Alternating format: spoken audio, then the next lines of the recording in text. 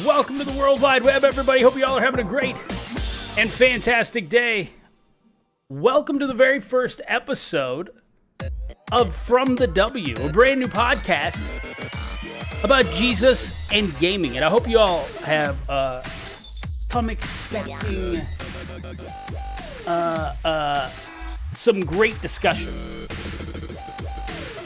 We've, we've got a lineup ready to go tonight. So what we're gonna do? My name is Mr. Zach Lee. I'm a Christian. I'm a husband. I'm a father.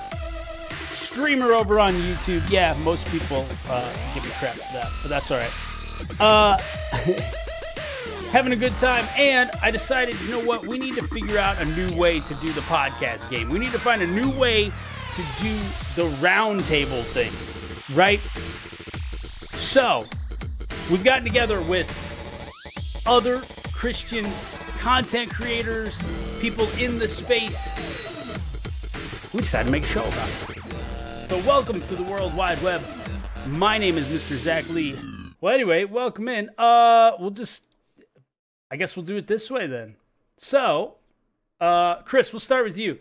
So, let's do uh name and like, I don't know, man. Like name and like what what you're doing in the content space and like yeah yeah yeah yeah and how how how do we uh how do we know each other that that we're here together today we're gathered here today So- yeah So I'm Chris Oldham. I uh, am in the content space, more in the background. I work with content creators, um, small and large, and help them grow their business and really treat their content creation as business, um, especially in the Christian content world. And Zach and I know each other from meeting on Twitter and trying to uh, trying to create content together and playing a little bit of Fortnite and planning big things that we've yet to take action on. yeah that's that's all my fault. So uh we'll move around the circle. Will what's going on man? WillPog tell us about yourself man. How you doing man I'm doing well. I'm doing well. It's uh later in my country, oh that's right and th- th- then I'm normally up, but uh, I'm glad to be here. Um, yeah, I'm WillPog. I stream on Twitch, and uh, basically all we do is chat and drink coffee in my in my channel. So um, that's that's all we do. That's basically it. That's literally uh, the summary of my channel. So um, yeah so and and all we do is have fun conversations everything from faith to depression mental health and and uh, and we just try to keep an open and uh, welcoming place for everybody so yeah Yeah, super cool. Super fun. It's it's one of those things where it's like it's just it's it's coffee and chatting and it's awesome. I love it cuz I hey, coffee. I got coffee. Yeah Co- having coffee and talking is a is a summary of basically 90% of business like that just summarizes almost everything unless you're holding a tool then it's usually having coffee and talking Yeah, true. True. All right, moving on. Uh Christian Ninja, what up, man? Welcome in. yo what up dude What up, dude? Hi. Hi. How are you? um i'm super awesome i'm, I'm So- late i feel like such a such a youngin being up with the, it's dark outside uh it's after supper i'm not asleep this is great There you go. There you will, go. will i make it the whole podcast that they yet to be seen All right, so tell us about yourself. Uh, again, I guess your name, your your what what you do in the content space, and uh, uh, yeah. My name's Al. Uh, they call me Christian Ninja. I call me Christian Ninja, and then I tell other people to call me Christian Ninja, so they have to. The uh, I am a content creator. I'm a full time uh, online Twitch missionary. I am a mentor to Christian streamers, and I was a pastor for 16 years. Master's divinity, been a preacher for for that whole time. God called me into the into full time online Twitch ministry, and I mean Twitch ministry, not just live, not just online ministry, but Twitch ministry about a year ago celebrated my stream anniversary like i don't know two weeks ago or something like that it has been a ride man it's a tiger by the tail ride Yeah, dude, it's it's it's interesting like just the whole the whole thing. There's a lot to live streaming and, and, and just figuring that out. There is But a yeah. lot to ride live stream. Yeah. Yeah, absolutely. Well, good to have you guys here. Good to have you guys here. Um, so, uh, uh the, the the the goal of the podcast, I guess, is to actually bring conversation about things that might not be discussed elsewhere. Um, you know, sometimes we talk about like different video games that get played and it's like oh should a christian be playing that game or something you know and and, and it's always interesting No, the yeah, answer's yeah, no. and exactly some of these games i go what in the world this is crazy uh, Tetris, you're not allowed to play it. And I- even then, you have to keep the sound off. Yeah yeah listen Hmm. you have to live like you're amish Can you tell I was raised Baptist? I was raised Mennonite, bro. I didn't have. I wasn't allowed to play Halo when it came out. Oh I was just raised Southern, so you couldn't uh, watch the Smurfs because they were evil. really? Darn right they were. Not as evil as Pokemon, but pretty close. Oh yes, Pokemon was another one for Oh me. man. I had. First brought in Pokemon. of Pokemon is at least in Brazil, like the you know, Christians were just all about it and like, oh, this Pokemon represents this kind of god, and if you play, Yeah. you uh, are worshiping that god, and I'm like, oh, okay, buddy. I'm not sure that's true. Yeah, uh, I, I was the same. Yeah, I, I was like the same way. Um, the uh, I, I talked to my parents when I was little. I'm like, I'm like, "Wow, Pokemon. Like my cousin was playing it. It was this awesome fad that was happening, which it's still a fad today, which is awesome. But like, I'm like, why can't I play it? You say no. Why? And they're like, do you know what Pokemon means? And I'm like, what? And they're like, pocket monster. Monsters, Zach. And I'm like, it's a monster. Like that's Which that is was the word for demon, which Yeah. is another word for Yeah. Which takes you to hell. Zach. yeah, yep, yeah. And it was the word monster, and that's what they were stuck on. And then I'm like, that's not that bad. And they're like, but we, but we said no. You know how many times your parents are like, cause I said so. Yeah, that's where it ended. It was just Yeah, and like, like it, it- in Pocket, not just Pocket Monster. It was like Pocket Monster, and and here it was like, uh, you know what Pocket Monster means? Yeah. It means that they're all, all they want is to take money from you and and out of your pockets and into their banks, which is kind of true with Nintendo, but still, business. Though. like it, that, that was sort of the stigma. DLC Stigma before they were with it, DLC. I mean, the only way that could be more true is if they were owned by Disney. yeah, right, Oh, right. man. True. Doing some uh, troubleshooting on the way Just here. imagine. Imagine if you were sitting there playing Pokemon with a friend who was playing D&D, listening to rock music while dancing. You that's like a it, it would be like the Bill and Ted's ele- like like phone booth would come up out of the floor and give you a direct invitation to go straight to hell. Yep. Yep. where the floor drops out. Just doom, Yep. gone. Gone. He's mine now. I've got him. The Pokemon was, the last yeah. straw. So, well, then here's the funny thing too. When it came to like shooting games, I wasn't allowed to play shooting games, and I'm playing like I tried to play Halo once at home. I borrowed the game from my cousin. My mom's like, "You will not play this game in this house." Okay, whatever. Okay, I'm gonna listen. But then I got Star Wars Battlefront. My parents were okay with Star Wars. Like it was okay if I liked Star Wars, watched Star Wars. I played Battlefront. My mom walks into my room while I'm playing Battlefront, shooting guns. What game is this? I said it's Star Wars Battlefront. okay, and she shut the door and walked out. Star Wars must have been okay. So Yes.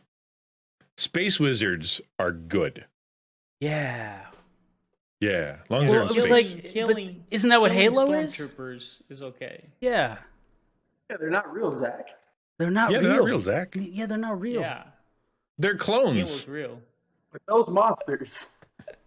I mean, obviously, I mean, yeah, that that electric Pokemon chinchilla. now, that'll so- I don't have any stormtroopers back here. I've moved on.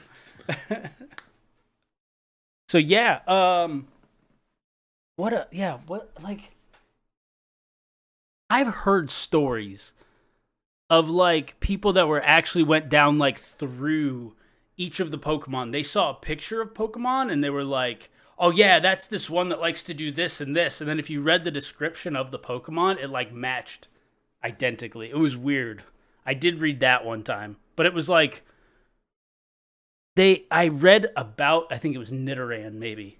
Like he likes to scratch things. That was a stab in the dark. Yeah, but but these are the same people that are that wake up and it's seven forty seven on the clock and they feel a call to missions. Yeah. You know what I mean? Like yeah. that's it does Yeah. it this is it's not what I would call the, the most accurate of of discernment.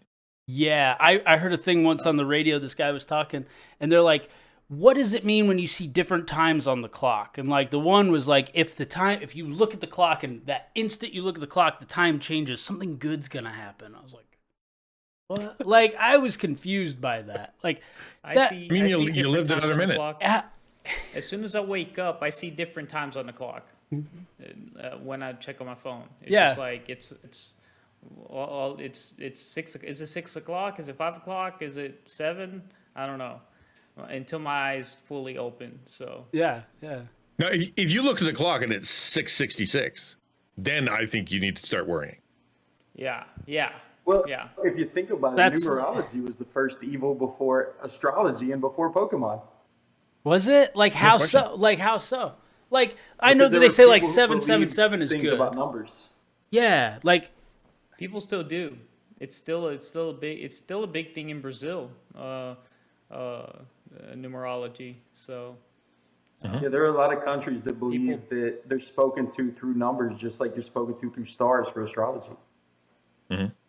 And people will will baptize that too, and then they'll take like like the the direct middle of the Bible, or they'll take you know they'll take their pages and they'll go through and they'll find the exact center, or or they'll count all the words and find out the exact middle word and what's the middle letter, and they'll use that as a as a way to kind of interpret out what that means and be able to apply it to their lives simply by using the page numbers as according to Zondervan, right? Or a few years ago, where it was the uh, number of wood used in Noah's Ark determined that we're all going to die in 2018 or something like that.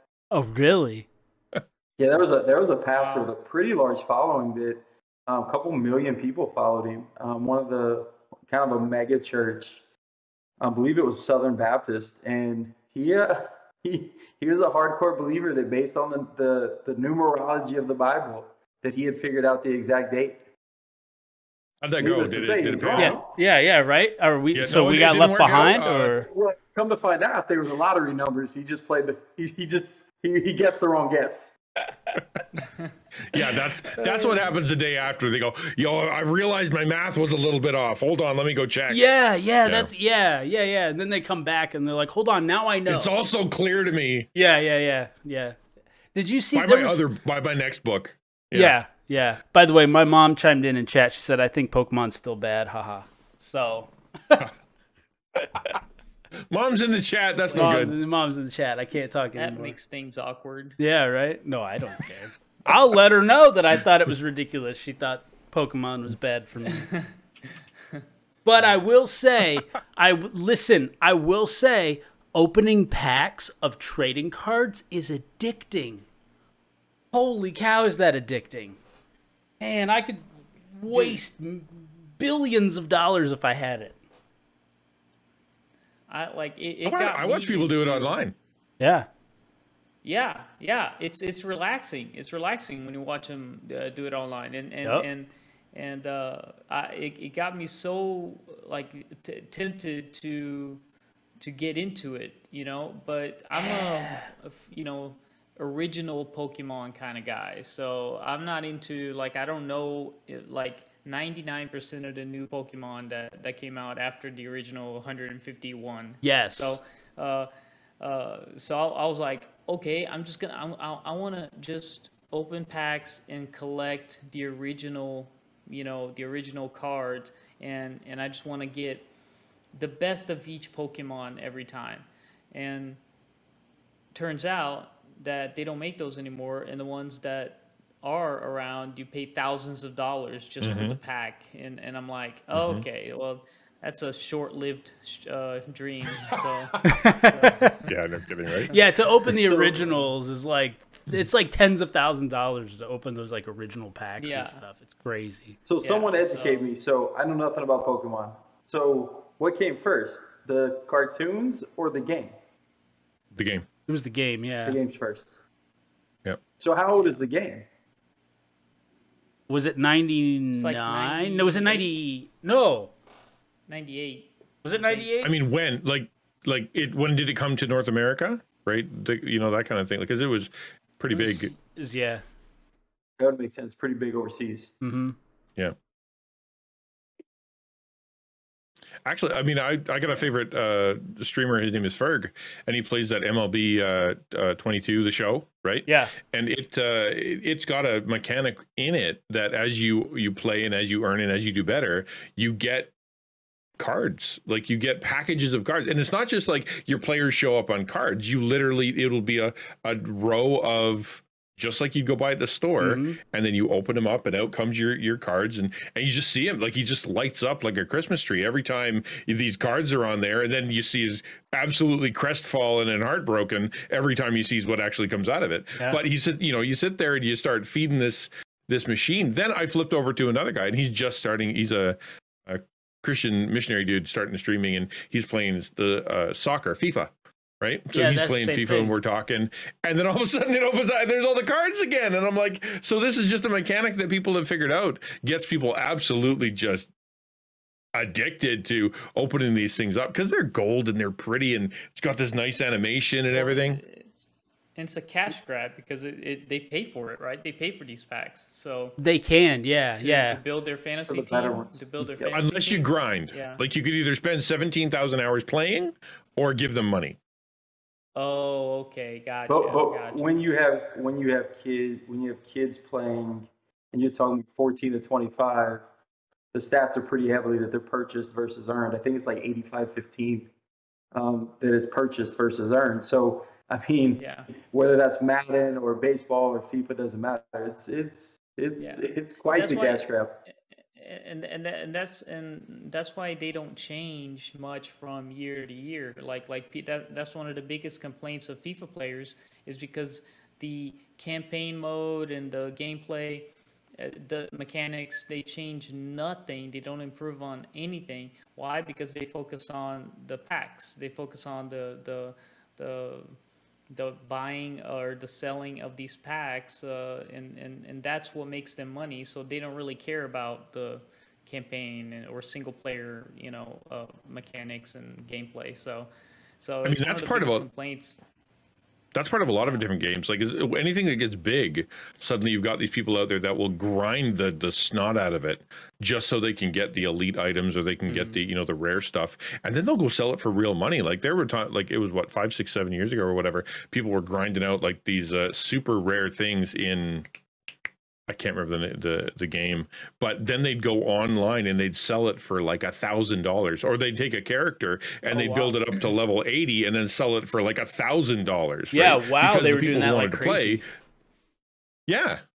But then, Yeah. but then you find out that in the background you've got these like this sweatshop about like like forty Chinese guys sitting around in the worst like computers in the worst environment, spending nineteen hours a day grinding out on this thing, you know, farming whatever, just so they can get these things, so they can turn it over to their boss, who will then you know take their character and, and go. Like it's yeah, it, it gets pretty pretty brutal So it wasn't just once like you start digging down. Yes, it's not just like one or two guys that are like, you know, hey, let's build up some accounts and sell them. This is like people are making businesses out of hiring people to sit and do this. to sit and yeah like today you're going to go make farm wheat and i mean that's what you're doing you're going to go do that and you're going to do 19 hours of it and then when you're done we're going to take your character or take the gems or take the whatever and we're going to go turn that into a profit now that being the person doesn't get the profit they're an employee Yeah, but even yeah. then they're under slave labor right Right. And to that point, what much. What they would do is is if you so I have a client that that was how he got kind of got started in the gaming world was he was selling and making 60 80 grand a year earning on these and then turning around and selling them. And so now you imagine if you is if he's doing that kind of part-time and you've got five ten people doing that full-time and you've got somebody who's actively like selling them building a business and selling them now you're talking about somebody's probably making half a mil to three quarters a mil on probably and he, and this is American dollars, right? He's making they're making American dollars after three quarters a mil, and they're generally paying somebody anywhere from 20, 20 to 80 cents a day, depending on the nation. Oh, Mm-hmm. Wow. Mhm. Wow. See, that's where it's Wow. wrong. As far as some guy that's like, hey, listen, me and my friends are going to make a business out of doing this, and then they just grind and sell and grind and sell. Great, more power to you. But if you're going to hire people for peanuts, almost literally, then yeah, that's where you're going wrong. I mean, if you were to turn that into a business, that's a great idea. If people are willing to buy something, sure, make it into a business. I mean, it is, I mean, it's a, it's an equivalent. Like you're working, and your work deserve is effort. Your effort deserves uh, remuneration. That's that's just how things work. It's just well, like you said, when it becomes like that fast fashion thing where you know Nike is is selling shoes out of sweatshops, or if you, if you've got the you know whatever you got you know coffee beans or chocolate or pick the thing that's popular anywhere in the world that the reason that it's so cheap the reason your chocolate bar only costs you a dollar instead of costing you seven is because it's on the back of people who aren't being paid. Yeah. right? The the reason your coffee only costs you so much and the reason you can go to the store and see walls and walls of it is because the people that are picking it aren't getting paid. You know the the reason that you, like they, like I don't don't get me started on this, but really the the amount of blood, sweat, and tears that is put into the products that we generally don't even think about over here because they're so normal, whether it be the shirt on your back or whether it be the the the material you're using or the dollar store that you go to, there is an entire world out there that is producing that for North America, and not all of it is pretty. Yeah. Yeah. I actually And, have a. and if you go ahead. If you look at the DOJ, I mean, there there was stuff published about the chocolate industry specifically. You know, you have Nestle and Hershey's and Mars and all of them, and just how deep, you know, to his point, how deep those were, especially with child labor. But you go um, into stay in the U.S. and you look at the produce world, vegetables, any farming, ninety percent of that 90% of the people in that world that's doing that work is not paid. They're Mhm. getting Really? to stay in a trailer in some farm. Like I've, I've gotten to visit them with government agents in California and go to a place where this is what's being grown, yet all the guys are sleeping 25 guys in a trailer and that's their pay. Their pay is they get, they get to Mhm. eat, they get to sleep in that Mhm. trailer, but there's no actual, you know, money going to them. Wow. But that's how we keep the, the produce so cheap in the U.S. slavery in the US, slavery around the world is not over. It's just it's just more commercial. It's more it's more hidden. It's Well, it's more it you know, I guess name, uh, you know, it, you know. just Just, it give it another another name, name. yeah. Yeah. Oh, business. I mean, in in that sense, it's less. It's not slavery, it's exploitation. Totally different. Yeah, right. Yeah. label yeah, if you will, if you label it as that, then it's like, oh, okay, fine, it's not slavery, fine. Sorry, Chris, you were saying. I, it, I was just saying it's it's basically they've found ways to make it some sort of indentured servitude versus because you know e- you know I've been into some of those sweatshops in China, some of those in the Philippines. Um, I've been to to a couple in Brazil, and, and when you go to those, when you look at them, the way they get around it is well, we give them something. We, they don't have to do it. But when you see how aggressive and how forced it is and how nasty it is, at the end of the day, for us in 2022, it's slavery. Yeah. Mhm. Yeah. Yeah, I have a I have a friend that uh, he wanted to start a coffee shop, and he realized like that same sort of thing that was happening. He wanted to roast his own coffee beans, all that kind of stuff, and he's like, "Listen, the way it's actually set up is not right." So he himself has gone down to South America. I don't know where he goes exactly, but he goes down to South America and actually like goes to where they're planting these coffee beans, where they're doing all this stuff, and he's like he's the retailer going to the source and through that he's able to pay them more but also mm-hmm. still charge a competitive price for his coffee. And But that's the problem when he comes back and he he does all that work and he tries to make it ethical and pay the workers and stuff, he comes back. He can't sell you a cup of coffee for 99 cents. No, He can't. no, he doesn't. Right. And but, so you have a, a consumer out there that they'll walk into his coffee shop and he'll and he'll hold this thing and he'll say, Okay, this is a cup of coffee, and here's all the reasons why it costs two two dollars and twenty five cents. Yeah. Which is actually pretty good for what I'm trying to do. And they'll go, That's stupid. I can go down the street and I can go to Star, you know, I'm not going to say Starbucks. Starbucks isn't terrible, but I can go to whatever, you know, and I can get one for for 99 cents. So why would I ever shop here? And trying to educate the consumer on going, actually, you know what you're getting is hurting people is almost impossible It- because people just want to stick their their uh, fingers in their ears because they don't want to be told that their favorite product, their favorite w- shopping, their favorite treat, their favorite whatever, the cleaning supply that they're using is actually hurting people and they have to change and make it cost double. They don't want nobody wants to hear that. yeah, And to your point, if if that wasn't true, Hawaiian coffee or any coffee that is um, grown and roasted in the U.S. would be more popular. Mhm. I mean, you've got three states that currently grow and and commercialize their own coffee, and none of it does well in the U.S. I mean, I didn't even know that was coffee is, I that think- was a thing. Yeah, Hawaiian Really? coffee is about thirty dollars per ten ounces. So if you went and got a bag of their a bag of their beans or a bag of their ground coffee, it's usually from thirty to forty five bucks. That's like pushing Kopi Luwak levels. But I mean, that's And, what and happens. we all know what people Kopi Luwak living wage. coffee goes through, right?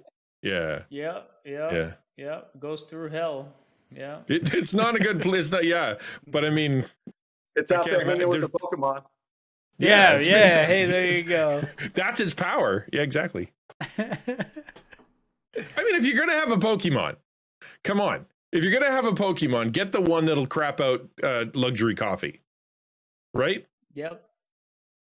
Yep. Where's he at? Sneasel, We've got an ice cream cone as a Pokemon. Where's the coffee bean? Come on. Yeah. the- where- It'd be my new favorite Pokemon. He'd be sitting right here on my shelf. Yeah. Even Luwakimon. Yeah. yeah. Luwaki mom. Yeah. Wait, did I say Luwaki mom? It's Mon. Mom, Mon. Mon, Luwakimom is a very different. Uh, that's a different website. Yeah, very different thing. Okay. Yeah. Okay. I think those are known as Karens. oh yes, yes, yes. yeah. The Karen. Le Karens. Listen, I went to Starbucks the other day. I got some for like vanilla. What was it like? Blonde roast espresso vanilla something. It was a venti. It was seven dollars and seventy five cents for my coffee, and it hurt a little bit having to pay that. When she said seven seventy five, Mm-hmm. went oh. I, I, Might make that a once a I- month I enjoy trip. Starbucks. I do too. I, I, I enjoy Starbucks and, and I go every time I go to the States and stuff like that. But but I do realize that they do charge too much for their for their coffee, uh, especially because they they don't pay fair wage, wages to to the farmers. You know what I'm saying? So they're charging more. Like they're they're charging like say. Uh, you know U.S. U.S. raised coffee prices, but but uh, but they they're not paying that. You know they're not paying that. So well, it's like it's like the fashion in the fashion industry. You've got uh, uh you know Chanel that sells you know a, a bag for thousands and thousands of dollars, and it's made in Taiwan. You know what I'm saying? So so you, they're they're paying slave wages and they're charging a lot. You know what I'm saying? A lot. So so it's not always it's not always like oh you know you get a church that uh, uh, a shirt that's cheap uh, because it was you know because of slave slave labor it's you can buy premium stuff that comes from slave labor you know what i'm saying so um, and and it's kind of sad Now, do we as as Christians have a moral obligation to be investigating this stuff constantly and making sure that everything we do is is morally upright? Because and this is this is a, a issue that I've had in the past because you know you start you know looking around at how many things in your house are made by Nestle. You know how many things in your house really are fast fashion. How many you know like if I want a, a fancy shirt and I want to get it you know uh, screened and stuff, I have to go figure out where they're getting the actual shirt, what the brand is of that shirt that they're going to be screening. So for me to be able to sell my merch, there's it's an endless thing. At some point, it gets so overwhelming. I think that's Right. part of the weapon is that it, the details and the and the searching gets so overwhelming that it becomes impossible for your average consumer to be able to uh, to real figure out whether or not the- it's it's moral. So you throw your hands in the air and you go, "Ugh, forget it. I'll just you know I don't know what I'm doing. I'm Yeah. just going to hope somebody fixes it. Do we have an obligation as see, you know- as believers as churches? See, and I believe so, and I'm kind of weird about it. I think, I think when you think about it, when you, it's one thing to go and search for it, but just look at what you, what is easily accessible to your knowledge, right? So, like for example, I refuse to allow myself or my wife or my kids to eat Subway. Subway knowingly allowed children to be abused for eight years and hid it. I, I feel, I feel morally, morally obligated by my faith to say I'm not going to eat Subway or Nestle, for example, is same thing because it, it's something that has been made very public. It's not like your little corner place, like like to your example, the T-shirts, right? Like never seen anything on the news specifically about the T-shirt. Now, can I make an assumption that because it's made in China, there's a high chance? Well, yeah, I could, but there are certain things. You know, go to Nike. It's been made very clear that there's an abuse of, of individuals. There's an abuse of of everything you can imagine from children to, to elderly to to women and yet that continues to be a business so for me i think when you when you become aware of it, it instead of turning around and burying your head in the sand it, it's time to at least say this is something i won't participate in due to my current knowledge Yeah, Chris, can I ask you a question? Like, you sound like a guy who's got yeah, experience in this arena. How is Nestle? Just let's just say Nestle. How are they getting away with it? If everybody knows they're freaking evil, if if all like half of their products are literally just you just take a child, you wring it out, and then you put it into a into a bar. Like, if that's what they're known for, why are they still in business? because at the end of the day we don't really care uh, I- I- and that's that's the honest answer because when you go Apathy. when- It doesn't affect us. Yes. Yeah. Well, and when the fact that the DOJ, the Department of Justice, when they can sit there and say, we know for a fact, like they've listed Nestle specifically, we know as a matter of fact that they are doing this, that children are being used, and then they go, but we're going to give them another year. And then 14 years later, we're going to give them another year. And what they're saying is, we are so dependent on chocolate. We don't believe that chocolate can be produced at a, at a if we pay anybody a fair wage. So you know what? We're going to turn a blind eye. It's the same reason that, like I said earlier, agriculture fields. I mean, even now where marijuana is legal, marijuana fields are filled with with abusive, harmful labor. And at the end of the day, the U.S. knows you're, you're in states that are screaming, in California, screaming about the rights of, of employees, but then we'll turn a blind eye. And at the end of the day, you can't blame anything other than the fact that they just don't care. It's, it's better to have a cheap price for the things that you don't want to pay excessive amounts for than to hold somebody accountable. Okay, then let me ask this follow up question. Uh, now that it's the the Christian Ninja Show, Zach, you can you can just hang out there. It's I'm gonna go make coffee Uh, while we're talking about it. so my my que- my question to you is then how do you change it if if if apathy is the problem apathy is probably the hardest thing to change like i'd rather you be angry at me than apathetic about me you know what i mean because i can i can figure out anger we can talk about that but if you're apathetic and i can't even get you into the room that's impossible so how how do you battle that level of national international apathy So, How do you so it's it? like it- it's like being anywhere else. So when, when you look at how things are how things are corrected anywhere in the U.S. or anywhere in the world, sorry, anywhere in the world, it, it usually is groups of people aligning themselves to say this is unacceptable and we stand against this. So in the U.S., we have we have an opportunity as Christians to do that on any topic. If Christians united on any given topic, whether it's pornography, whether it's abortion, whether it's uh, abuse of labor, whatever it could be, if Christians united on it, it would stop. Because if if, if roughly let, let's let's downplay what the what the supposable numbers are, right? So let's say the numbers only 60% of the US is Christian, which supposedly it's much higher, but let's say 60%. If 60% of Christians or 60% of the, the nation is Christians and we all stopped eating Hershey's chocolate, Mhm. Hershey's doesn't exist anymore. Mm-hmm. Nestle, Nestle doesn't right, exist right. anymore. Wh- whatever it is, you know, wherever Nike, Nike doesn't exist anymore. Mm-hmm. Yeah, that makes sense. That makes sense. I mean, we but saw it too. It's, about. Go ahead. Sorry, go ahead. Well, so so people, so people, so people are like, if if if we're not all going to get together, and my change doesn't make a difference, then I'm not gonna, you know, why should I do anything about it? You know, so, mm-hmm. so, mm-hmm. so I think it that that's an issue too. I mean, it's exhausting from an environmental perspective. Like you, we know, and this is this is one that gets me. They they look at me and they, you know, as your average consumer, and they're like, you can't have plastic straws anymore, right? Because that's a big problem. And then you look to the left, and there is a major company that is producing like 8% of the pollution on the planet. That one company, right? And then you go over here and you've got like Coke destroying, you know, ecosystems. And then the government is, looks at me and goes, "Yeah, but you you know, like we're going to have to take $125 out of your pocket every time you want a new car battery." Sorry, it's it's an, it's an ecology thing, right? It drives me insane because if they were to take the energy that they're pouring into the average consumer that's making a pittance of a change and pour that into the actual companies that are causing the half the problem, we it would be solved. I mean, reasonably solved, would it not? Am I, well, I, I feel like I, am just a naive big baby because it seems to me like I'm like, well, it, how is it hard to walk up to them and go, so okay, stop dumping your crap in the water. Oh, and if you keep dumping the crap in the water, you're not allowed to do business anymore. It's illegal, right? That seems easy to me. Am I? I don't know. I've always been a big. Well, well yeah. Baby. Instead, what, they what come after us and say, "Don't dump your plastic into the ocean." They're telling yeah. us not to do it, rather than yeah, rather than figuring and, out from the big company. A, I think there's two. There's two things to take from that. There's one.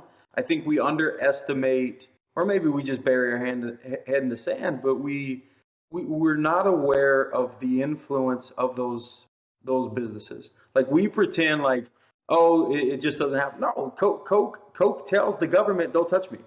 Um, Nestle tells the government, don't touch me. But then you look at the yeah. next side, and I don't know how much y'all followed the politician Andrew Yang, but Andrew Yang spoke about let's tax, let's tax all um, all businesses that are technology related, apps, etc. Let's tax them. Let's stop protecting them. Let's tax them.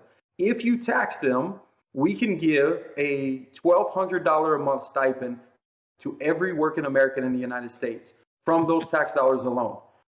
And all of a sudden, you know, it, it's like, wow, you can't do that. We, we, we need technology. We need, we, they, they can't afford to pay taxes.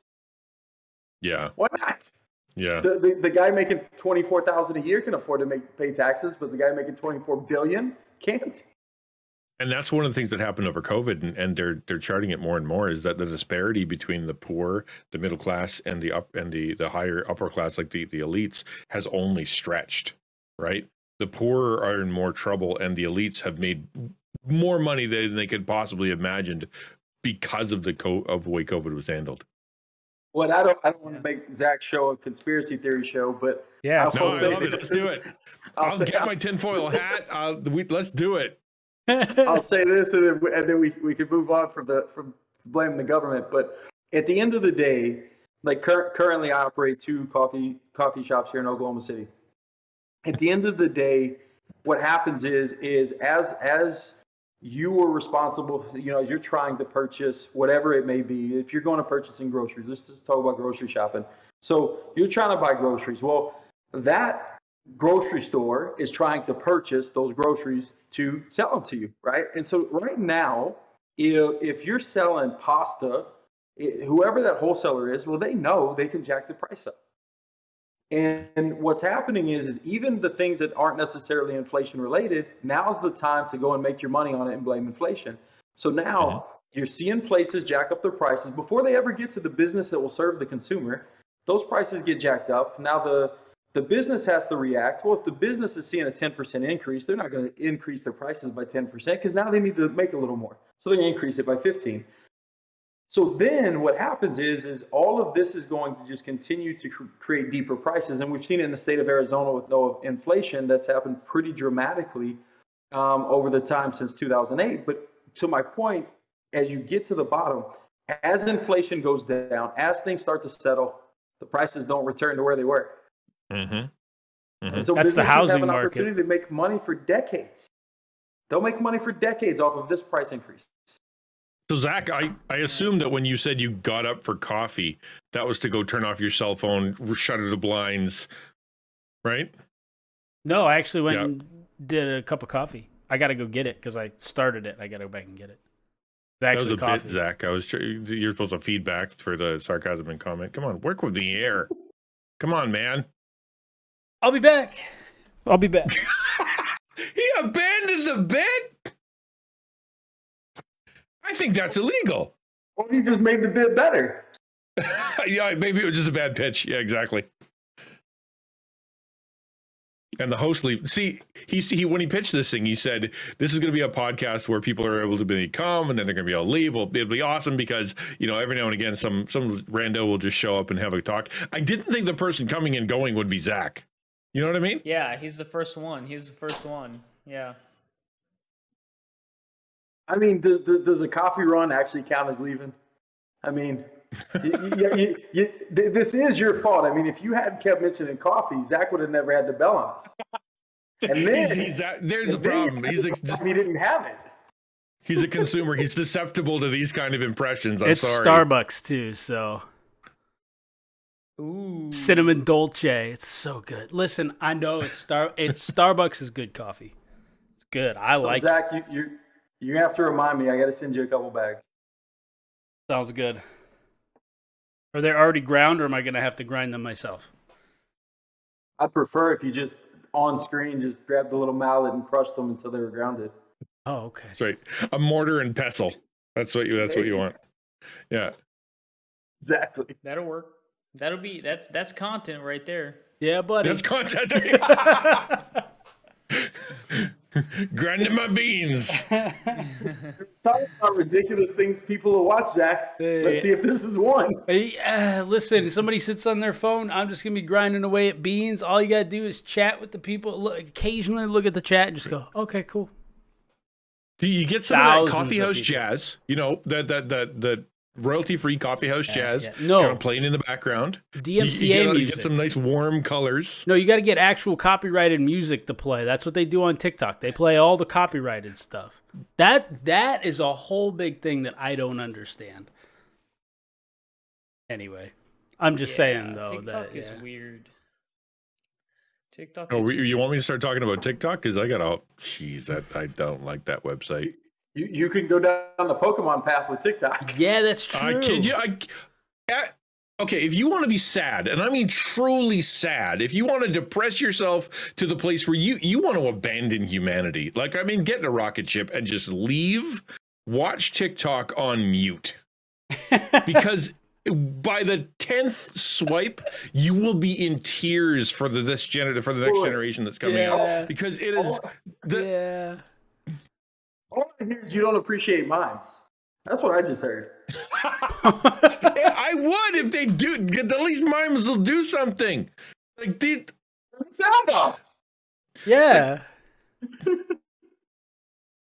My thing is though is now nowadays all these companies are actually like getting on TikTok, and so it's like every third video is a, is a, a an ad or whatever. I'm just like, okay, this is getting too much now.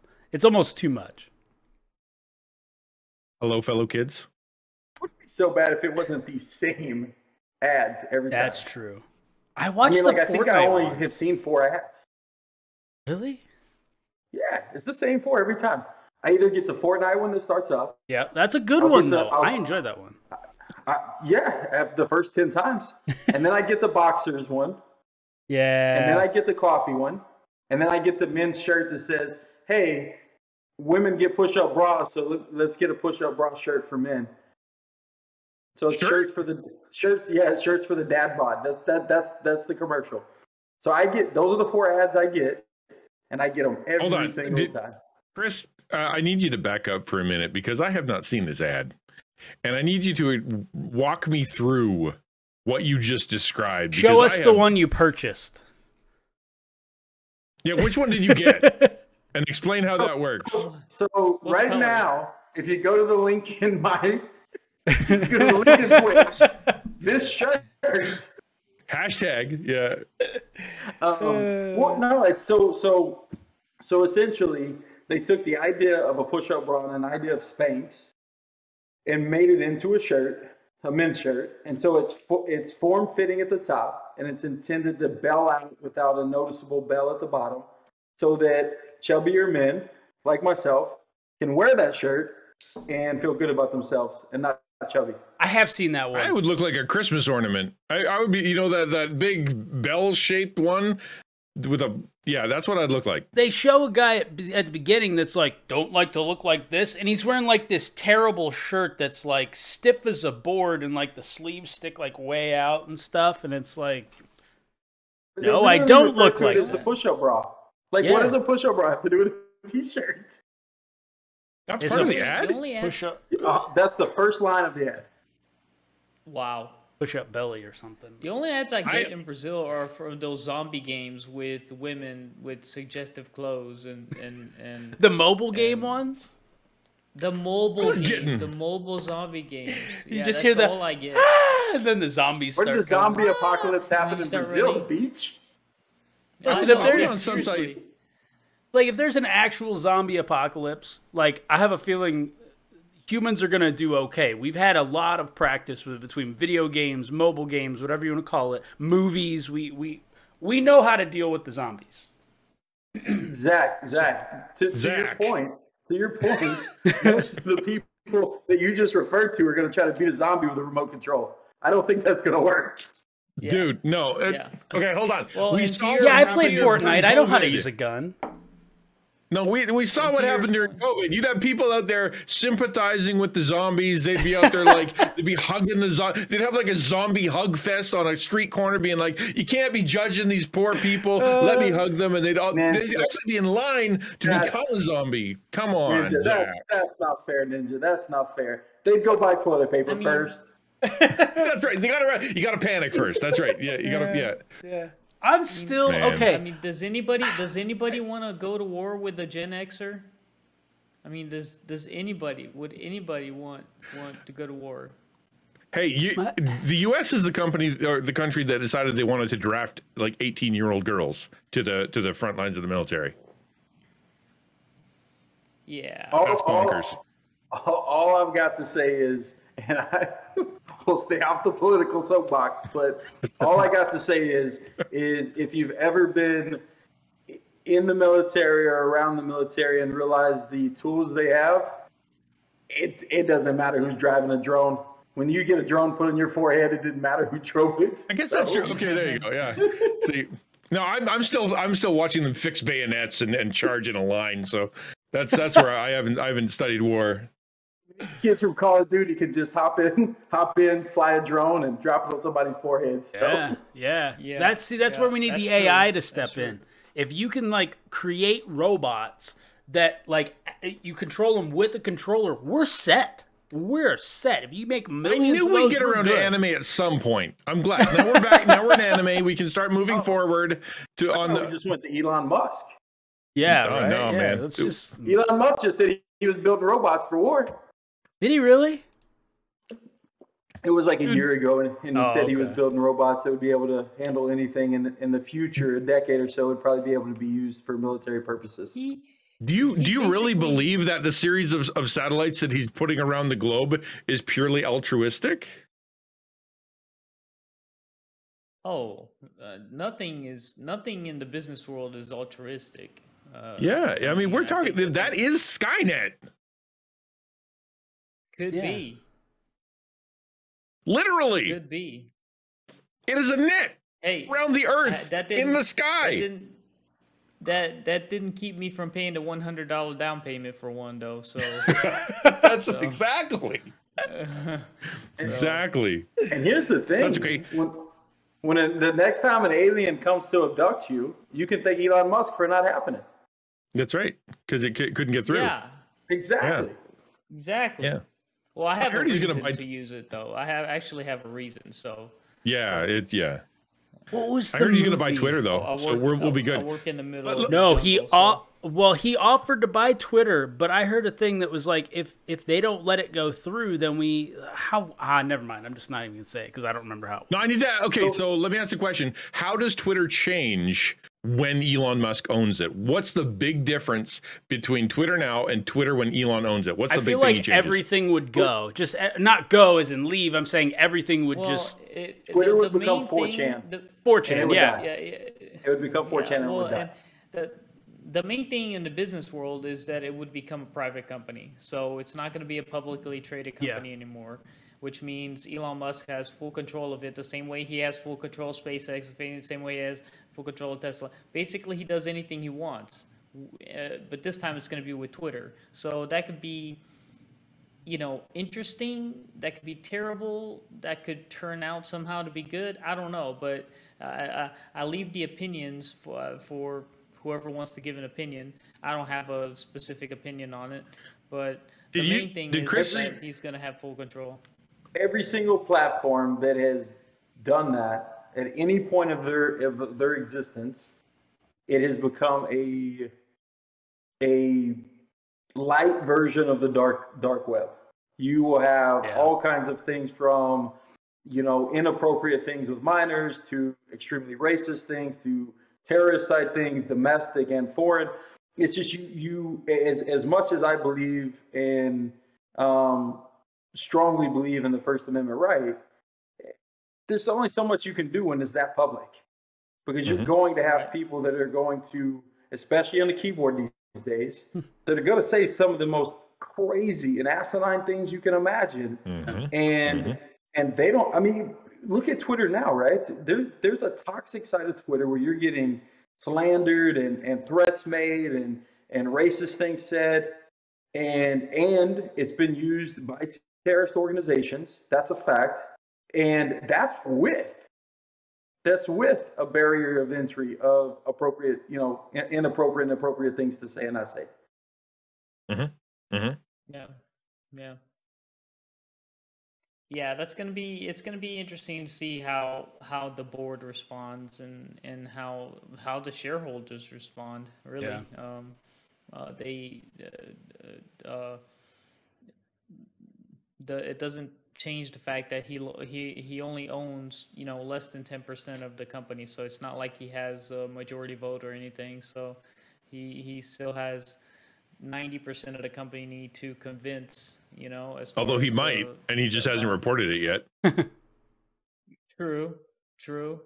He may double the offer. Uh, he's he's so crazy that he may just double the offer and be like, "Hey, okay, I'll just double my offer and and and and get you guys." So Yeah. Well, so the belief is is he handcuffed them. So basically, by forcing this offer, by making this offer public, the board has to accept it Yeah. because it is a financially pleasing deal, and that is their responsibility. Or they deny it. He he is threatened to to remove his stock, so he's going to sell his stock. What that does is that drives the price of Twitter down. Twitter starts to starts to just fall apart and, and rattle off the wheels and now he comes in and purchases them for half the price. so if Yeah. he's if he's Wow. intent to purchasing them, he he he absolutely will because he's just buried them. Chris, did, did you Hey, you speak from Zach, experience? I feel uh, like the the lemonade stands in your area are in are in real jeopardy from you. Is that true? Are there little girls that you've made cry because you you oligarchied right over top of them? No, I, I pay all those girls really well. That's why lemonade costs six dollars a cup. I've told them, look, Hey, your Zach, parents have Zach, your parents Zach, have you Zach. come out here and you make zero dollars an hour. I'm offering you two bucks an hour. Yeah, yeah, Hey, that's Zach. right. That's right. Yeah. What's up, Will? uh, just Zach is here. Oh, is he? Yeah. Uh, We'll bring But he's him in the wrong place. Hello. There. Hello. Just Hello. wanted to bring our friends, our friend in. Hi, Zach. I'm Zach. Where's he at? There he is. What up, Zach? There he is. Oh. Hello, hello. What's up, man? How are How you? we doing tonight, gentlemen? Doing well. How are you? finally done with with chores and and getting food ready and everything. What a Chores don't end. You're just lying to yourself. That's true. It's a good point. That is true. It is. It is You s- like um, what do you call it? Uh, dishes never end. Yeah, you just you stopped doing chores. It doesn't mean they ended. You just stopped. Just Correct. oh, Will's gone. Oh, No, it's okay. We got a backup Zach now. Well, yeah, that's true. It's it, it's all good. First Zach will just up and leave. So Yeah. Yeah. Wait, wait. Which one's the backup? Just I in feel like. I'm the backup though. I'm just here, man. I, t- I told you before we started that you got to rein me in, man. You you need more powers. we didn't we didn't get it through an hour before a tinfoil hat was mentioned. yeah, Tim. Yeah, there you go. Dude,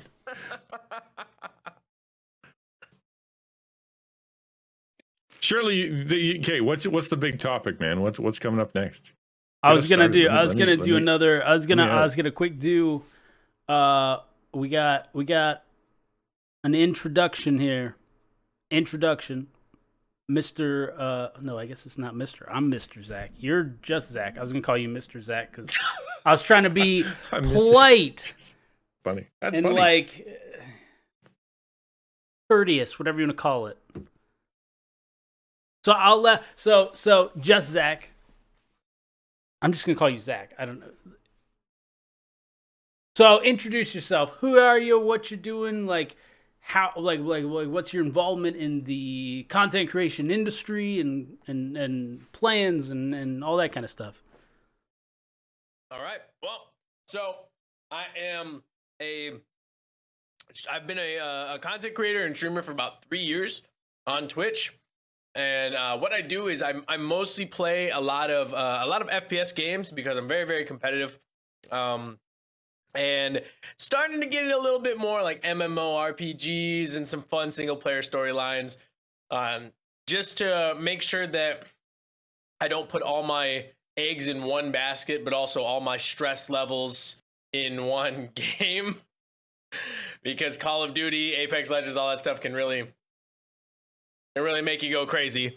Um, and then in the in the content creation space, what I mostly look to do is to is to do things different, um, and and to do things from the the perspective of someone who's like brand new to uh, a community. So if someone comes into the community and they know absolutely nothing about content creation or streaming or where to start um, and stuff like that, I like to stay up to date on uh, technology and and peripherals for that stuff. So I like to talk about that stuff too. I like to be a very well-rounded person. I was gonna name myself Zach of all trades at the beginning of streaming. Yeah, but that, that didn't That's work pretty out. 'cause good. That name was that That's name was good. taken. Oh, That name was taken. Uh, so I was I was looking at that uh, Twitch uh, Twitch username. I was like, ah, someone has it. And then YouTube, someone had it, but it was a totally different guy. oh. See, then you gotta go. Should've You gotta go. Change your name. Yeah. Yeah, Could have been like could have been like Tad of all trades. yeah. There we go. Coulda- I Jeff, Jeff of all trades or something. Yeah. There you go. been- Um, I I should have I should have uh, known to to take it to to the court. You know, take it to take it all trades court. is good. That's good. Like Oh. I, I, I'm actively kind of in awe of how good that is. That that's really good. I kind of feel bad for you now. Can I can I ask you a question though, uh, Yeah. Zach? Mhm. So this is something that actually came up today. I was talking about to somebody about what kind of games I play on stream and and, and their games and whatnot. And I was saying I got I basically got I, gamer ADD. Like when I when I sit down to a game, I'll play level one to three, and I'll be like, well, that was fun. And then I'm gonna I want another game. I want to do something else. You know, unless it's like a movie game, like. Uh, Detroit Become Human, which is like it's just kind of Yeah. you keep watching because you're watching, right? I just I just get bored. So how do you or how does your community, how do people like like that are in sort of your realm of the first person shooter, grinding the same game, getting good at the same game, and trying to get that you know reticle in the exact right spot at the exact right moment every single time? How do you keep the joy in it without uh without going mad? Um, I mean, for me, I, I think I just I really enjoy the the challenge and the the skill level that's involved once you start getting better at the game. Because there there's not really a skill cap. Like in in some games it's like you have three difficulties you can choose or four difficulties you can choose um, on how you want to play through the game and you can get used to like patterns and things like that. But with fps it kind of is always changing and i never know who i'm going to run into i have no idea um, if i'm going to run into someone who's way above my skill level or someone who's not uh, plus the whole bunch of different um, like experimenting that you can do with the different guns and the different loadouts uh, that you can create. I find that super fun. But yes, I do find that it does um, kind of get monotonous over time, uh, especially if you're like myself who plays with random teammates, which is the Mm. least fun that I have That's during the day. Yeah, I mean, I I've reached out to large con- like so the people who are normally live when I'm live are like large content creators or other people in my similar circumstance who maybe I just haven't heard of yet. And so I've obviously heard of the large content creators and I'm always looking for those um, smaller, medium-sized content creators to collab with. But the large content creators, they don't really want anything to do with me because they think I'm just there to Sponge. yeah, Yeah, to, to pretty much ride their coattails. Even though I'm like, no, I'm I'm actually really good at the game, and I'm I'm a very genuine human being who you know who wants to get to know you as a person, Mhm. but you just see it as the the person who comes in your chat and says, "Hey, can I play?" Ten Yeah. times today, by the way. Uh, in, Listen, in even- alone. even as small yeah even as a small streamer when somebody Excuse jumps in is like hey can i play like depending it's like Mhm. yeah it's almost it's like well, i kind of want to do my own thing sometimes you know and and, and there's nothing Mhm. wrong with that but yeah Have any of you had the "Can I be mod" thing within like the first two seconds? I've never had that. I'm like, Yeah. I didn't realize that was a meme, but apparently it's a thing. You guys have had that? yeah not often Today too. Today was today also. Yeah, I've had I've had a lot of things. Oh yeah, yeah. Someone came in. Someone came in and like we weren't even talking about music, and he goes, "Hey, play. Can you play this song?" I'm like, I'm like, it's copywritten, so sorry, I, I can't I can't do that. Like I'm, I'm trying to make sure. He goes, no, no, no. I play it on my stream all the time. Like it's totally fine. I look up his name. He's not even a streamer. He's got zero followers, no videos, and he goes, "Oh, my videos aren't up." I'm like, well you don't put videos up yeah, I was like, I was like, because you were not online. Yeah, yeah, So- exactly. I'm not gonna play this song where it's in German and Dutch, and I don't know the lyrics. But I looked them up, like in the middle of us talking, and I was like, these are inappropriate as heck Yeah, lyrics. the- I'm not playing this at all. yeah like the german cover of like nicki minaj or something like that yeah Oh, like it was like, um, oh my gosh, it was Yes, pretty Zach. close t- to like. tell us, tell us what this song was all about. Just, just lay it out Mm. for us, Zach. Let's just in say it had to do with please. um uh, a type of club, and it had to do with um uh, a Like type golf? of word. Yeah, yeah, golf pretty club. much. Yeah, type of type of word. Golf Uh, four. Okay. yeah. That's not too bad, Zach. To be honest. yeah. Yeah. No, I mean it was it was Maybe definitely you're just more um, sensitive than others. Oh my gosh. No, it was I mean, it was just so random. And then someone popped in and was like, hey, how does one go about getting mod in here? I was like, uh, You recommend a Dutch song? Yeah, Yeah, yeah. That's right. That's right. Check over this song and uh and translate it from Dutch German to English. Yeah. And then and then bada bing bada boom, you get a green sword next to your name. Yeah. Yeah. Perfect. Boom. Yeah, you guys don't know, uh, like Dutch. I I live I live by the Amish, so I could just have them translate it for me. Wouldn't that be fun? Bring in that song, Yeah. hand it to one of the leaders in the Dutch community, and just say, "I don't know what this says. Can you can you read it to me? Just like translate it in English for Oh, me? Yeah. I would. Can you film that when you do that, please? Oh my Yeah. gosh. Please. Uh, Now, now, here's the question, Zach. Uh, The community that you, you live close to, would you have to print it, or could you know would would they read your phone. Oh, they have phones, bro. They have Okay, so you're electricity. so they it's not deep Amish. they have uh they're not You got some of those that would have to be like, I gotta read it. It's gotta be on paper.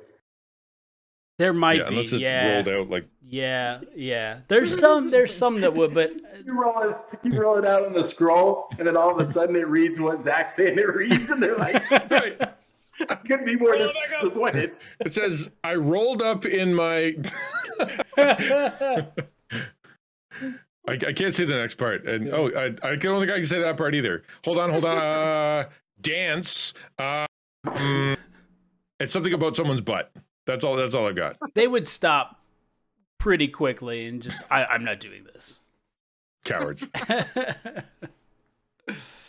Uh, no, I mean if, But if going like, back to our earlier conversation about do you have the do you have the do you have the requirement, the moral requirement to step away from something?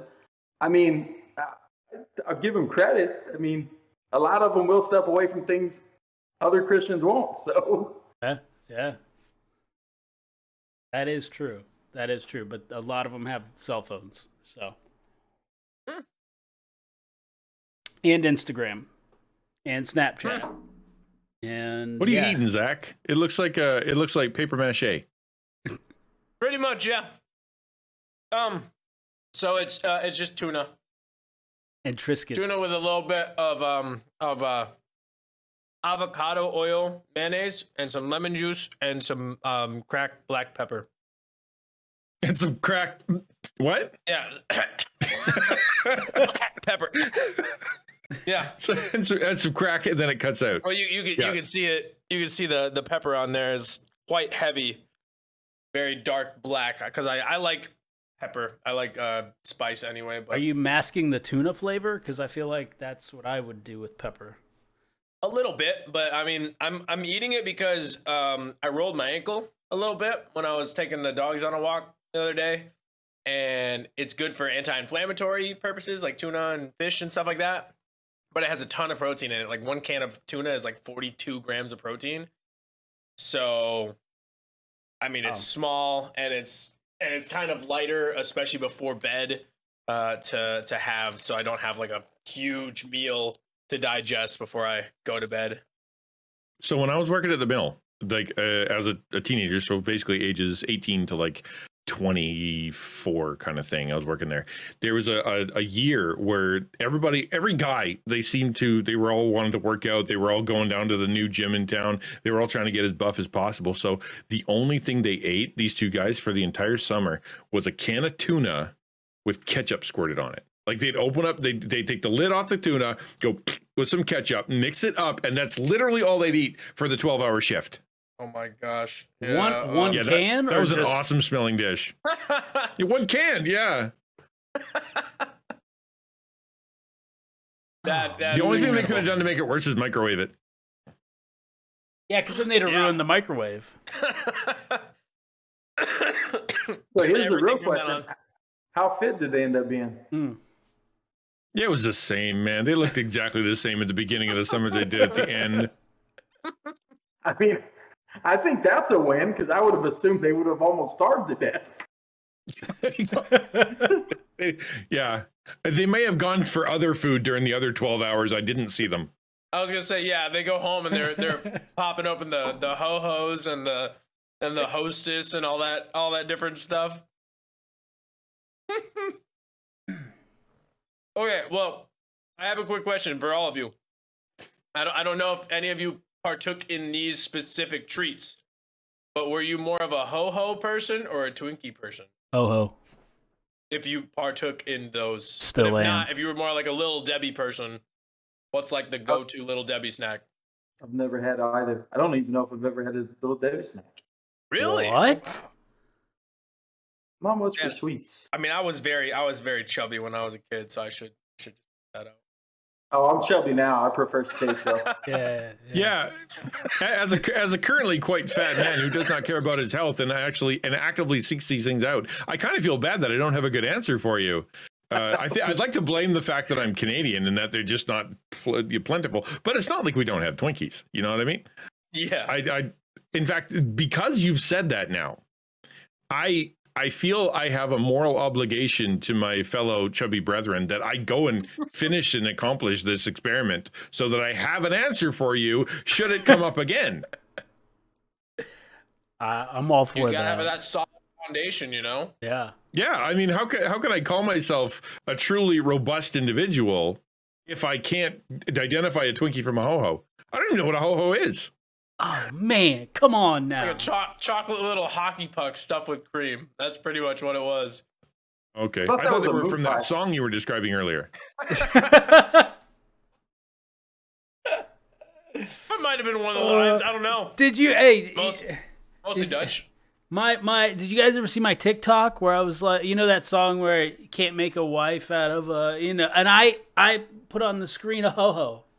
Can't make a wife out of a ho ho. Like, that's not the words, but it was. I great. did see that. That's why I'm laughing. But there's a lot of pepper involved in that laugh. Yeah, there it you go. Pity laugh. it was. I ate the ho ho. It was a great ho ho. So, so is it a wagon wheel? Is that the same thing as a wagon wheel? So the ones I eat, they're like uh, rolled up, like look like a burrito. Oh, that's a Swiss roll. That's a Swiss roll, but That's- that's yeah. what I've always called Yeah. a ho ho. Oh. Yeah, the ho hos are like the. They look like a little, like a chocolate cupcake that's like a frosted, chocolate frosted chocolate cupcake with like cream inside of it. But it's Yeah. like dense as all get out. Like that thing will stick to the roof of your mouth, and it's just it's a solid hunk of chocolate cake. That sounds fantastic. I feel- I feel like I've missed out. You you've missed out. But And yeah, my wagon, wagon wheel has jam, right? Yeah, it's got Yeah. it's. I mean, it doesn't have to, but it's yeah, it's like a graham cracker and then like marshmallow with some jam in the middle. Yeah.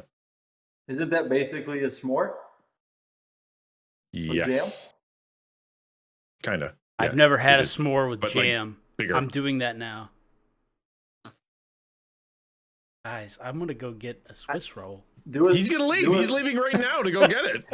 I can Do tell. a, do a s'more with peanut butter, Zach. Yeah. That is oh, delicious. I've done instead of just like a piece of chocolate, put like a Reese cup in there. Reese's. Yep. Yeah. Mm-hmm.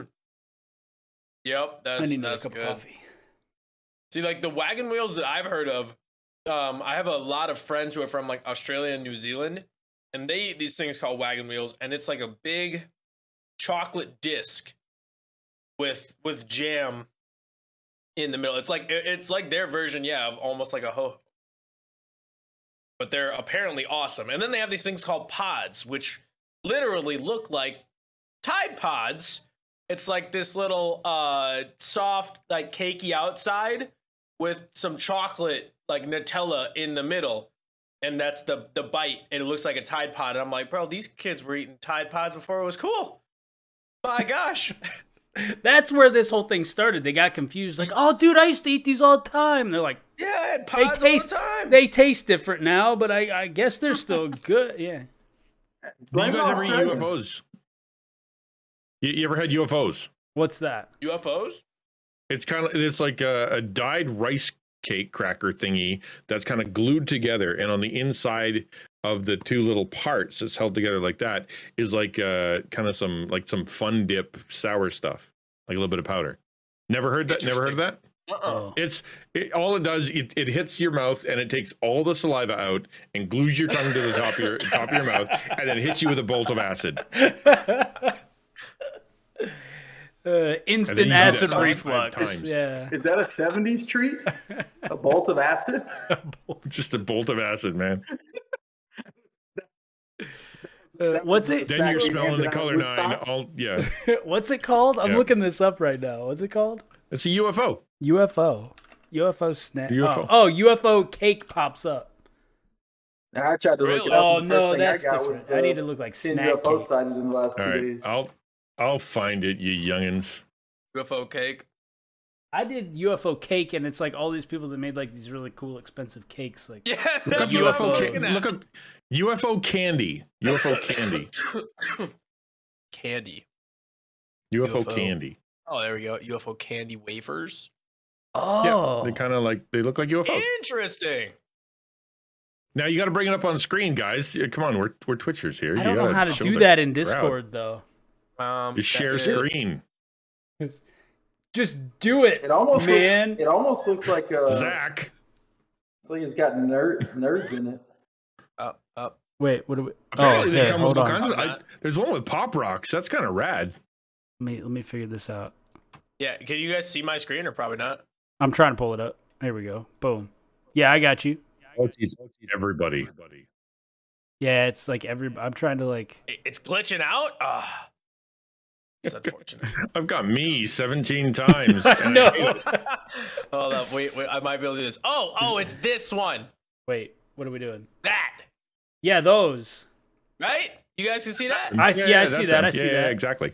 I don't know how do Yeah, I. Can I that- zoom that's in the on candy. Yep.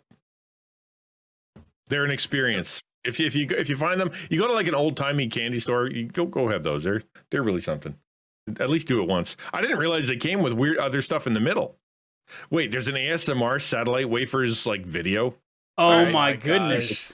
content. There's content, people to be okay, I can here. make some content right here. Yep. So yeah, so we're yeah. Dude, screw There's screw it. what Amouranth's doing. I got the UFO ASMR Darn going like tootin'. crazy. Yeah, Ah, darn tootin'. That, that's a good joke, actually. Oh my gosh. darn tootin'. Yeah. Do you, You get just- the joke just that you you. just made? No, I I have hope no idea know- what you're talking about. Not a clue. Oh, Not a clue. all right. Inform Do- me. do- Help me. Do you know who Amouranth is? The Yes. ASMR. Yes. girl? I've been Yeah. on the internet. Yes. yeah. I've been on the internet. Yeah. Um. So, uh, th- this is weird. So she she actually jarred up her own farts. I kid you not. A thousand of them, and Bro. sold them for a thousand bucks a pop. Bro. He's a it ca- It business also came with a strand of her hair, and she sold out within seconds of announcing that she was selling them. Those are some thirsty dudes. Holy mackerel. Oh, Wh- hi, wh- who's that chick that sold her bathwater like a couple years ago? Yeah, what was? Um, There was no. a there was a music Belle Delphine. That's that. her. Yeah, yeah, yeah. Belle. Yeah. Belle was, like, Delphine. like, she's she's like a. Uh, I was like, she's a Disney princess, but she's not a princess at all. No, no, no, no. No. Uh-uh. She's from that. She's from that song. What's That's a what that song was about. Yeah, Belle Delphine was that Dutch song. That's what's actually the title if you translated it. There we got my. We An ode, my, an ode to Belle. kids. Ah, ah, ah. Get off there. They want your tuna. Yeah, no, they do. Especially this one. This art, my little, the little chunkiest new puppy. this guy right here, Broly, is is just he is a little tank. He will eat food all day. You put food in front of him and it's gone. You put water in front of Yeah. him and it's Sounds dry. like sounds like me. I was gonna say I, I can relate. yeah. What are you talking? You said making it sound like a bad thing. yeah, when we adopted him, the the people were like, "Oh yeah, he's gonna be like maybe fifty or sixty pounds maximum." Take him to the vet, and they're like, "Nah, he's gonna be like eighty pounds." He's. Mm. I was like, 20, 25 more pounds more than uh expected. All right, I I like it. You got kids? No, not yet. No. Not yet. 'Cause I- I'm- it's I'm it's only always fun to see the dog the dog come flying in and just destroy an entire group of toddlers. That's always fun. It's like bowling. Make sure you to just gotta, film you gotta hold him at the gate like they do greyhounds in a race. Super excited and just let him Yeah. fly through them. Yeah, the toddlers are the bunny that's that's kind of going around the, the tra- exactly. Yes. Yeah. Have y'all have y'all ever have y'all ever been to a rodeo where they put all the guys, they sit in chairs, they start to play blackjack or poker, and then they let the bull run through it? Kind of like that with kids. Yeah. awesome. Just as much fun to watch.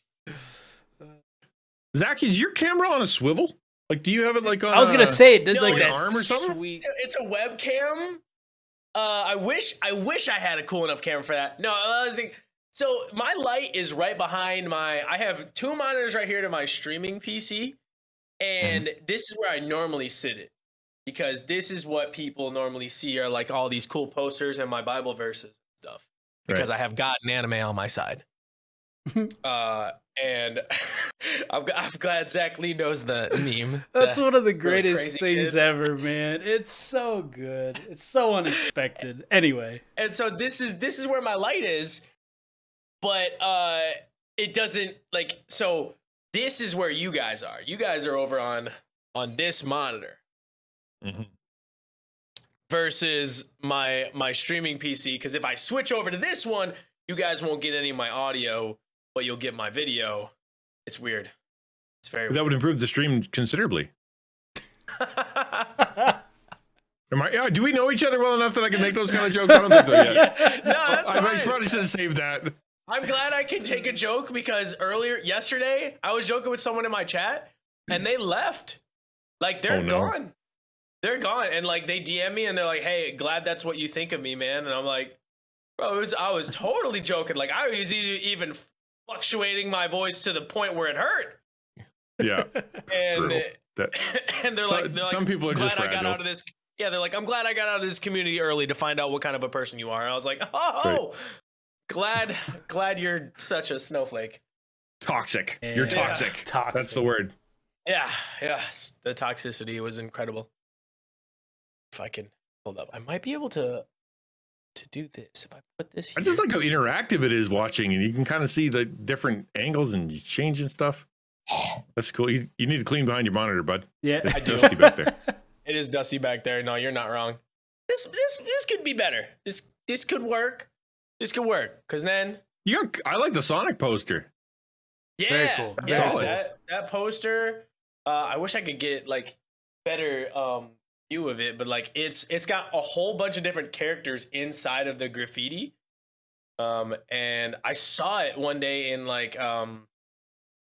I went to this old like vintage uh comic book store because when I was um one of my part-time jobs that I did alongside of streaming was I uh, took care of people who had uh, cerebral palsy and autism, and that was one of my jobs. I'm I'm just a bartender now, so I I left that job because um it was like an hour drive, uh, and they they weren't giving me any more like payment, and the they they wouldn't reimburse my mileage to drive there, and I was like, Uh, can't really do this. So like they'd reimburse my, my mileage when I was on uh, the job, but mostly we walked everywhere um, to to people's their my clients' favorite places because they usually lived by places that were uh, the only places that they knew.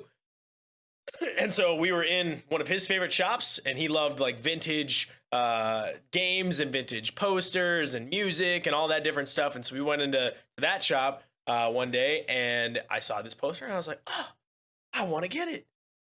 And so I, so I, I, I pulled the trigger, and the whole way home, the whole way home, we were driving. Uh, my client was asking who it was and like, uh, what what is uh what is his name and all this different stuff, and he kept asking the same stuff. It was it was awesome. I was gonna tell and Chris. the other one, King, is the other one Kingdom Hearts? Yes, that is my favorite video game series of all time. Okay, can I can I just take a second to talk to you about that? Because I had someone in in my community buy me Kingdom Hearts. Like there was a there's a Kingdom Hearts like set that was that had like I don't know five or six games, and apparently Kingdom Hearts doesn't know how to count any better than Windows and, and Microsoft does. Wait, he left. Hold on. I've He never played the any of the something here, Kingdom he Hearts Just off he games. goes. Okay, so okay, Yeah, you mean this? uh, yeah, if story that so is- far? yeah, that's it. Yeah, yeah, yeah, yeah. it's got all But- the games. but they don't know how to count, so it's really it's really confusing.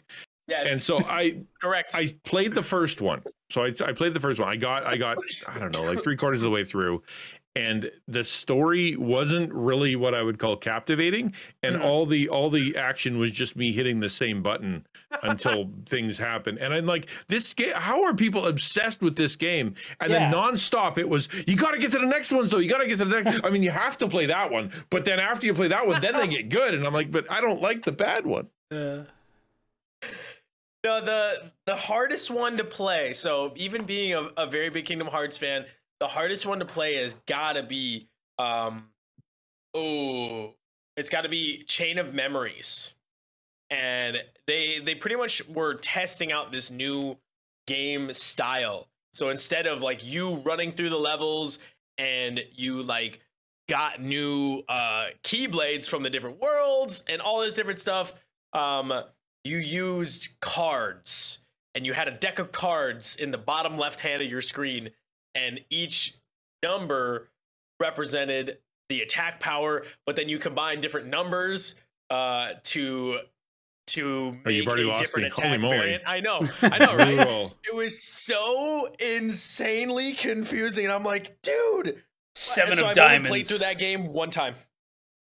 All the other ones I played through many, many times, but I've only played through Chain of Memories one time because it was not good in the, Hmm. the fighting. The story was great. You you went through this castle, but the uh, you had to get to the top of the castle in order to um, you know beat the people who are holding this girl hostage.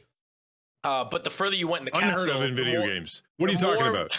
The more That's, memories that's breaking you so many barriers. I know, right? But the the further you went along in the castle, the more memories you lost. Mhm. Um, and so you started forgetting about your uh, your friends. You started forgetting about uh, your family. You started forgetting about like your own abilities, even. And so it was it was really incredible story, but uh, the fighting was just awful. It was just terrible. Hmm. But yes. So, are you them all. excited for this new one that's coming out? I just saw like a trailer for it, and everybody The- that I knew started complaining about the size of his feet. Yes, because in all the other, in all the other games, his shoes are like four sizes too big.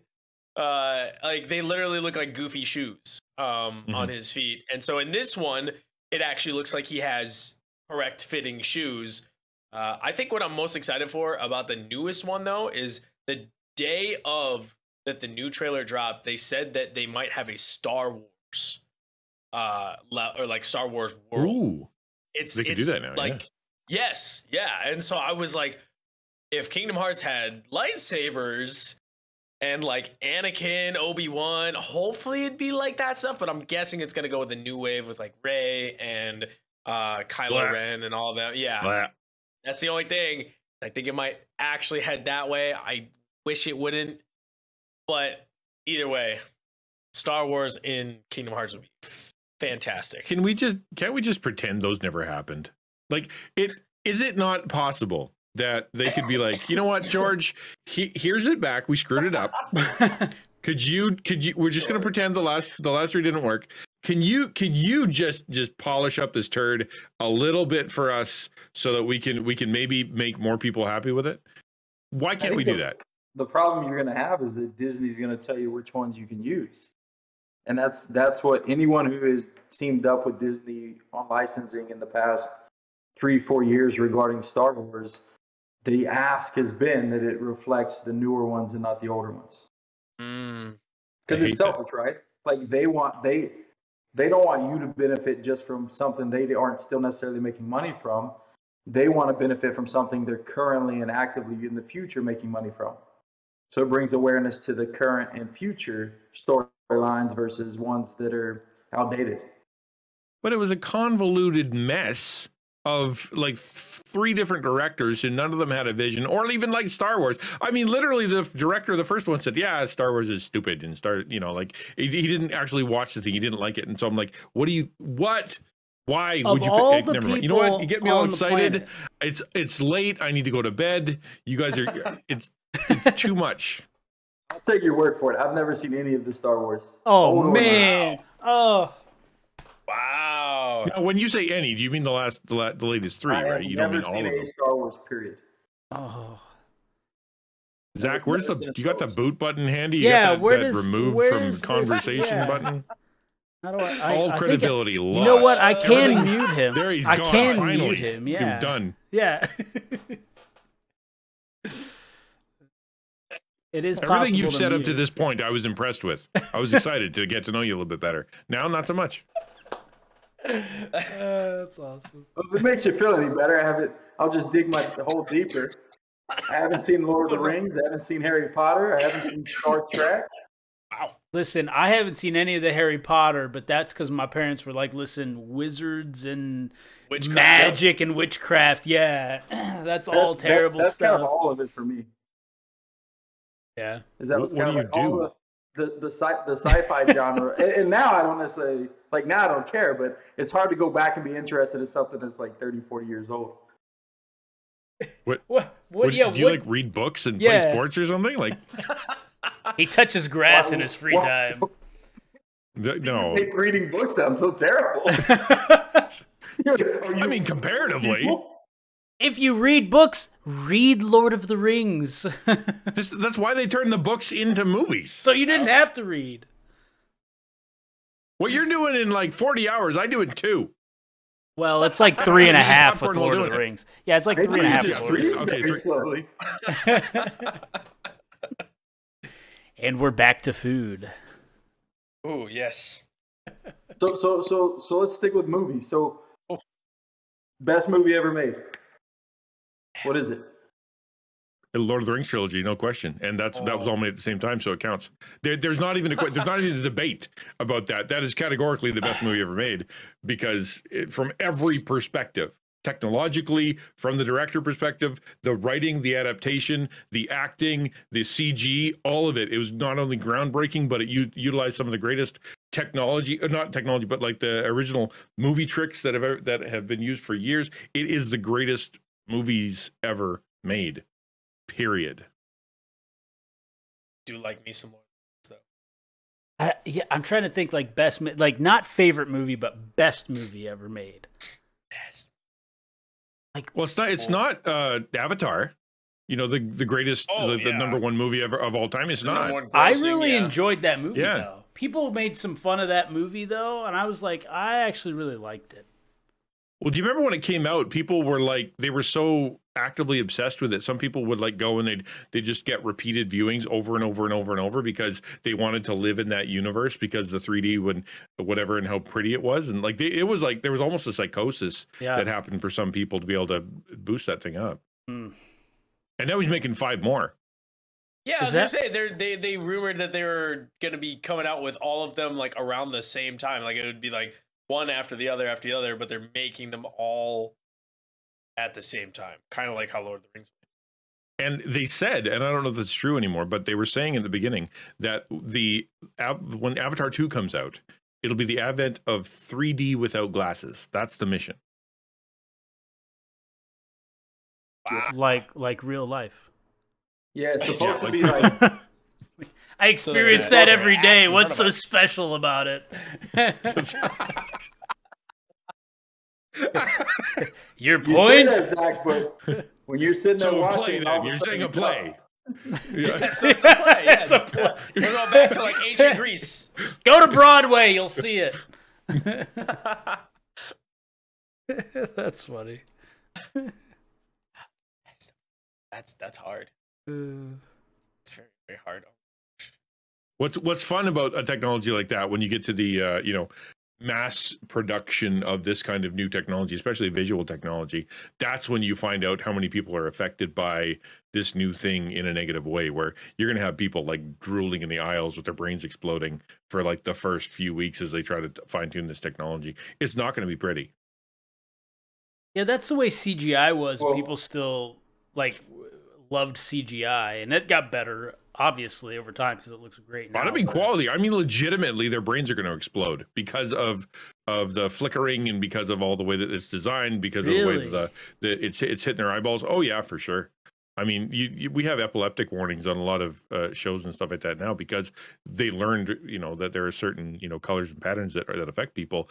When you start throwing this, you know, two-eyed 3D parallax stuff at people in an action movie, that's that's gonna that's gonna affect some dudes for sure. Yeah, because We're like The- it'll be calling the weaker of us. Put it that way. All the weaker people, like Chris, who doesn't watch movies, gonna go in there and die. Will be will be finally free of these people who won't watch movies, and us strong ones who can survive can continue on to Avatar three and Avatar four and Avatar five.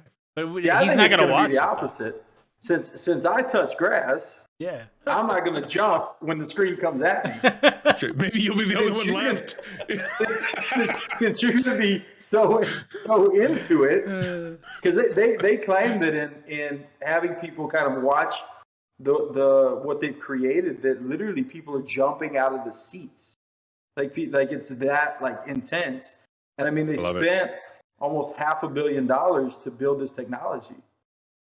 Love it. So But that's true. I mean, it could be like reverse zombie apocalypse where where we're all a drooling mess and, and during the first show, half of society is now gone and only the people that are able to actually be outside and and have Then uh, seen I, if the I'm sun a zombie, in the I'll be last thankful. week.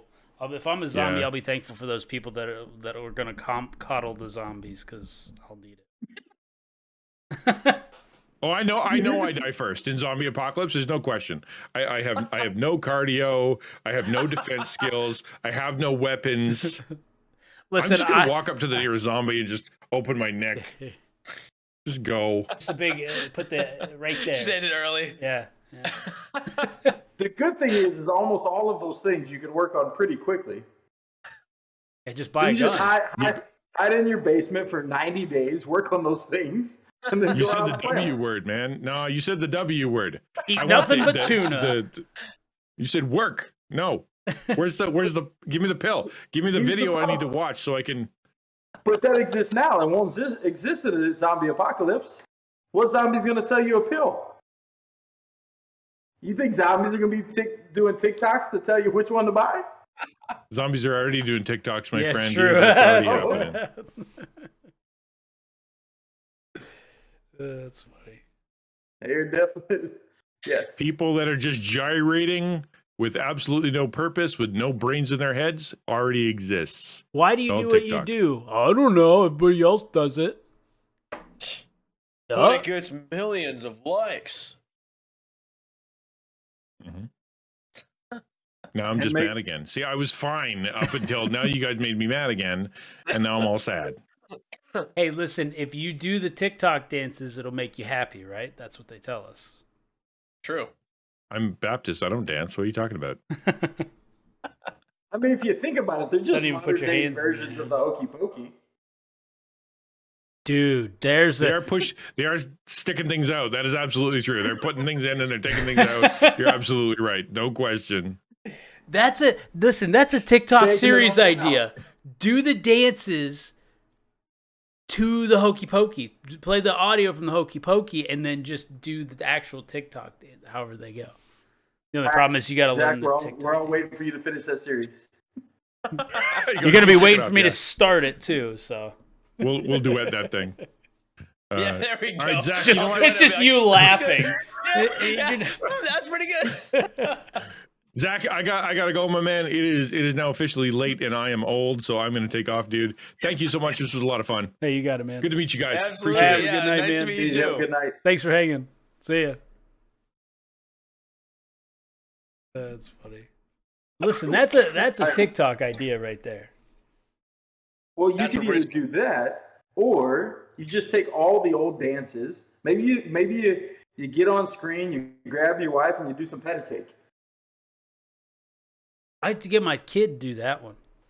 Yeah, there you go. You just mix them up. I mean, what were there like seventy different versions of the patty cake?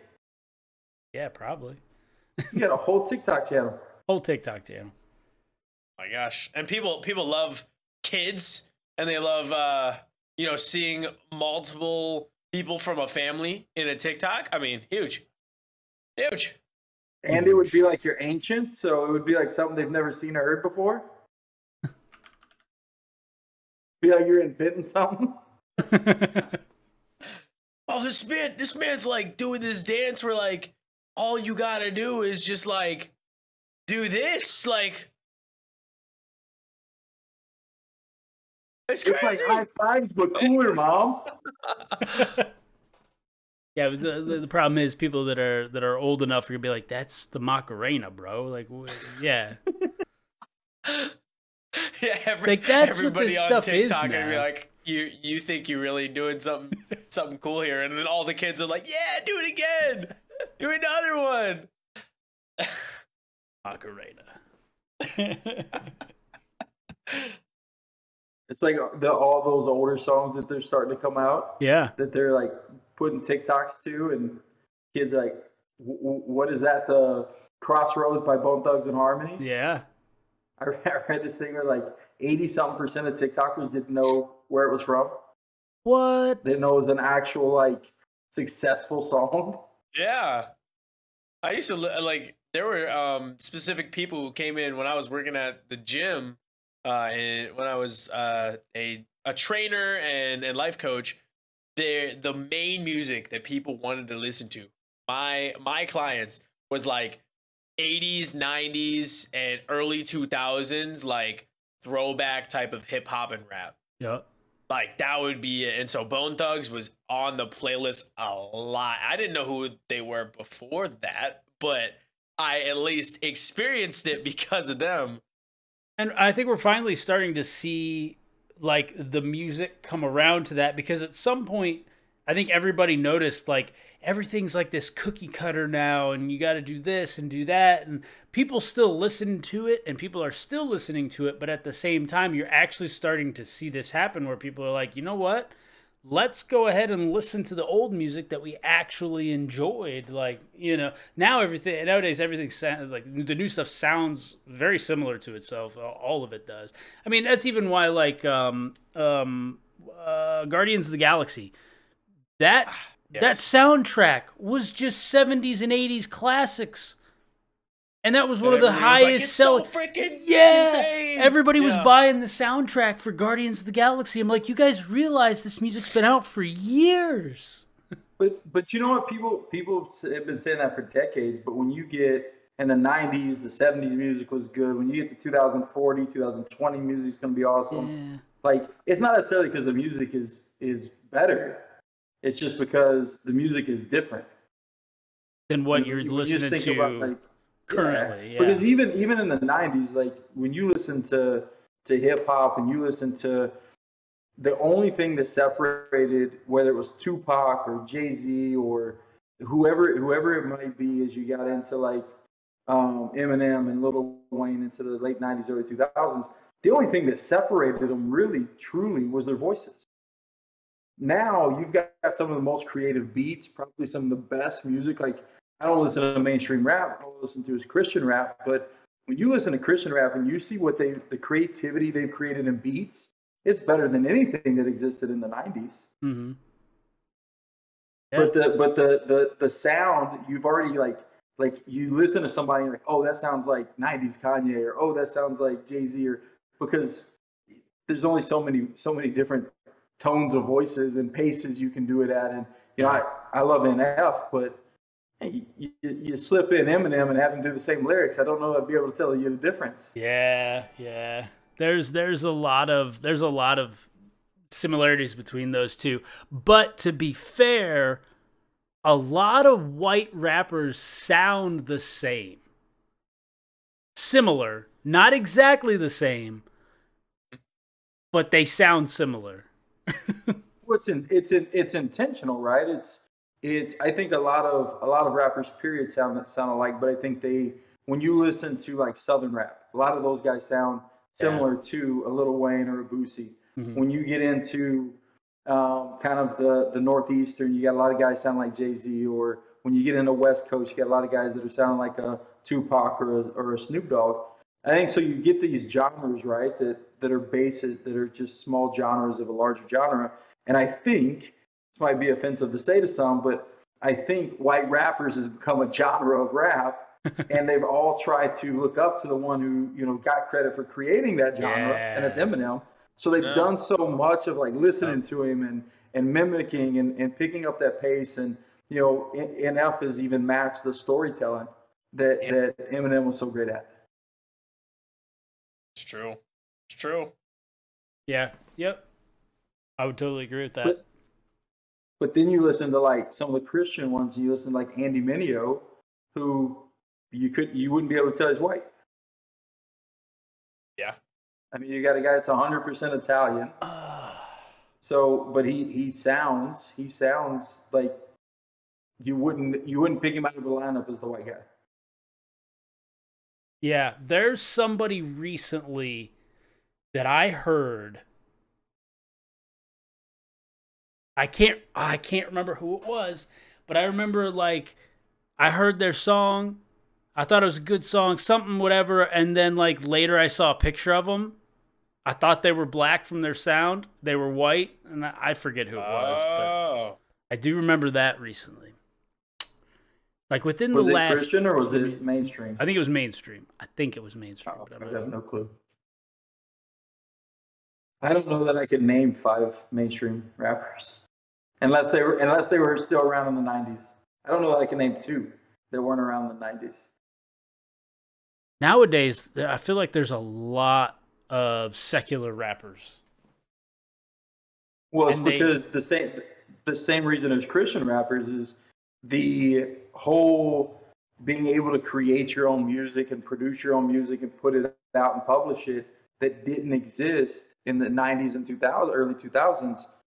You know, you look at a guy like I don't know how much you listen to Christian rap, but a guy like Dee-1 who set records for self-producing his music and for self-publishing and not having a record label. You look at a guy like Bizzle who went out and, and did his own thing and then created a record label himself. So when, when you look at those guys, like now rappers have opportunities that didn't have. And then you add TikTok and you look at the money some of these artists have made just from getting making a song that's popular on TikTok. So you've got you've got opportunities that are greater than your skill level. You just got to find an audience that likes your music. You don't actually have to make good music. That's true. That's It's true. very true. Like that's that Island Boy song. If you guys heard that one. Oh, they, they, they, they just mumble island boy. Yeah, da, da, da, Oh, so there, Uh, there's an actual song. Yeah. Yeah, Oh, there's I- that- I they, don't they started know. out with like a song, and it, it was just so random, and it really didn't have a whole lot with being an island boy. but that was like the main line that they said was "Island boy," and it blew up. It wasn't good at all. Like even like big high tier rappers. Like Snoop Dogg did a review of it, and he goes, But- he's just sitting there, and he's like, just he's like, what is this? yes, Like, but this just that little, just the way that they said island boy was catchy. That's the Yeah. only thing. That's it. That's the only All right. thing. All right, Zach. So you're gonna do those TikToks to uh, Hokey Pokey. I'm gonna do, do you a favor, and I'm gonna rap the Hokey Pokey. and the only words you're gonna be able to understand are just Hokey Pokey. But you like already the hokey pokey. You don't even really sing. You just kind of speak the hokey pokey. I know. That's why you rap it now. It's spoken word though. It's already it's already artistic. Get propaganda on Oh, it. sorry. All right, sorry. Then I got to do something that's not artistic because evidently. Gotta um, add- d- I- but like you have to add a beat. The opposite of artistic. Okay, so you add a beat to this. Yeah. Oh, that's all you need is a beat, a catchy beat. That's it.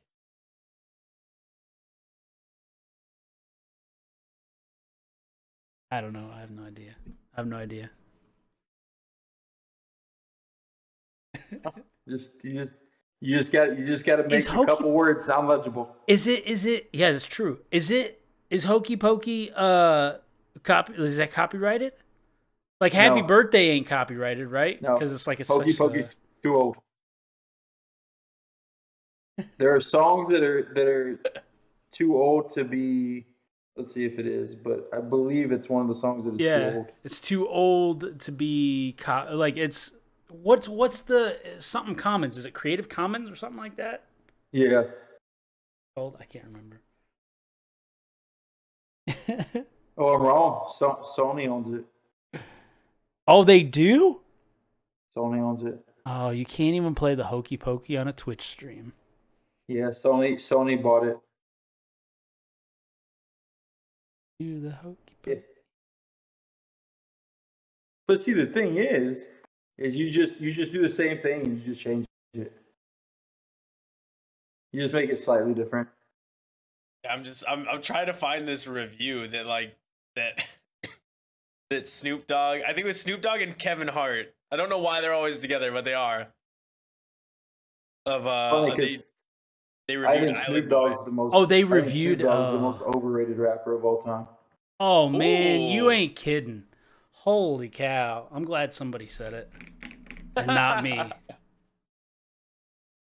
I, I think that that is that. Even when I listened to, to secular rap, that was the one guy I could not tolerate. I think I think I think mumble rap definitely for me like any of those rappers I was all I would always put anybody before them like uh Yeah. what's his freaking name I, I I don't know many of them at all but like Lil Yachty just comes to come to comes to mind yeah I know you Yeah, might so not that's know all who that new. is Yeah, yeah I don't even know what new. mumble rap is. Mumble rap. Oh my god. Well, it's literally So- what it is. It's like they mumble their lyrics, and it's just got a catchy beat. Yeah, I'm not even kidding. Wow. You type in mumble rap and but- it'll be like trash. My problem is good, that all the but- beats are like super simple, and it's almost like it. uh, To me, I listen to these these songs and I go, "This is just bad." Like, I'm not trying to be mean or harsh, but when I think about these songs, I go, "The beat is so simple that they went into GarageBand and used." A kick and a snare, and the and, and the hi hat that just goes, and then they're like, oh, blah, blah, blah," they just and this is a song, and somehow it makes it big, and I'm like, bro, I made stuff better than this on my MacBook Pro with GarageBand when I couldn't do anything. You know what I mean? Like, I don't know. I just feel like it's just when you compare it to stuff that's that's out there, it's like this is just bad. I don't. I'm not trying to like be mean or jerk, but it's just like, uh, hey, take it. That's me anyway. I think mu- music is tough as a whole, though. It's like whether it's whether it's rap music or it's it's some sort of rock or hip hop or pop or country. It almost doesn't matter what it is. It's for the most part, music. The creativity of you, and, and again, I think this goes back now to the to what I was saying earlier. With the ease of being able to share music these days, it's almost made it where you don't you, you don't have to make good stuff so you don't have to put in the same work you don't have to you don't have to put in for example and i'm not trying to i think they're impressive i'm not trying to to down them but there's these two spanish creators um, one male one female i think they might be married or siblings but they they all they do is they just sing country music songs that have been on the top 100 billboard at some point and they just sing them in spanish Uh, yeah, and they're, they're, they're great. They, they, they sound great. I don't understand the words, but they sound great. But at the end of the day, they are now touring. They have now been given a contract by Tim McGraw based on just doing somebody else's work in a different language. That didn't exist. That didn't exist 30 years ago. You couldn't copy and paste as easily as you can today. That's man. and again they're talented so hopefully they'll hopefully they have their own music Yeah. and they were just using those as opportunities but Yeah. i mean at the end of the day like they, they literally became famous and recognized by tim mcgraw for singing one of his songs in spanish But I, I think that's kind of too how Christian bands get started too. Like they're gonna sing the the popular Christian Covers. songs. The, yeah, they're, uh, like that's how you connect with the people that are in your audience, and then you occasionally sing, you know, your original and one of your better ones or something, and, and they're like, oh yeah, this band was really cool. Like covers all day. Like a worship band up front on a Sunday morning is singing all songs that are you know but Yeah. you couldn't get paid you couldn't get paid until your work was your own i think that's the difference now now is you can get paid when the work's not your own yeah. I mean, these these guys are immediately based off music they've taken from other people. Immediately, they're going on tour in the next three months. Yeah, and they probably You already know? can monetize their uh their uh content anyway on TikTok and Yeah. whatever short form media content that they put out. I mean, it's like there's there, yeah, and there, and there's people there's people monetizing um, old old songs that aren't copyright and just you know just recreating them with different instruments. And and so people are people are being able to copy and paste in a way that's different. If you yes, you might have gotten your start. You know, if you did a little you know hole in the wall bar, you probably were doing some, covering somebody else's music. But at some point, you were going to need to produce a CD. You're going to need to pr- Mhm. produce a cassette tape, something. Now, Man said cassette tape. Somebody else's work. You said cassette tape. Just Yeah. pointing that out. Yeah. Yeah. Most people probably have uh, forgot what those are. Yeah, you got a track somewhere too. I mean, they those aren't even that old. They just music has just progressed so quickly. Well, listening to music technology in general. Yeah. Yep. I mean, think about it. Like you, it, it was, it was what? How old am I? Let's see. So 20 years ago, 25 years ago that uh that uh iPod was so popular, Mm-hmm. and now those things are absolutely obsolete. Yep. They don't There's no such exist. thing iPod. Yeah. Yeah. Not even And, I like mean, MP3 you're talking players. about- I mean, it's just it's No. all it's gone. And that was a billion dollar industry. That industry made billions of dollars. And now, in, in the same generation, they literally don't exist anymore. Man, Steve Jobs was a treasure, wasn't he, man? Because he basically introduced the the iPod, right? He introduced the MP3 player. He then introduced the product that took out the MP3 player, which was by putting it in a new device. I mean, that's man, I wish he was still around. That he had an amazing mind, man. Oh man. Also, evidently, an abusive personality. Did, did he did he make the MP3 player? Boy, I don't know, but I Uh, feel don't like. I feel like he was the first one that like actually brought a high storage volume to such a small device that allowed you to play Okay. thousands of songs rather than just like a flash drive or a floppy disk that had, you know, one or two songs or whatever.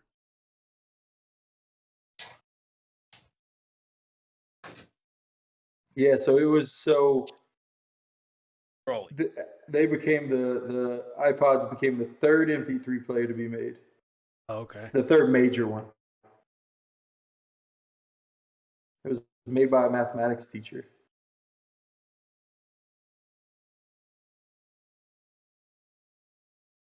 But yeah, it's uh when I'm curious when they came when I when um Jobs came out with theirs. Let's see.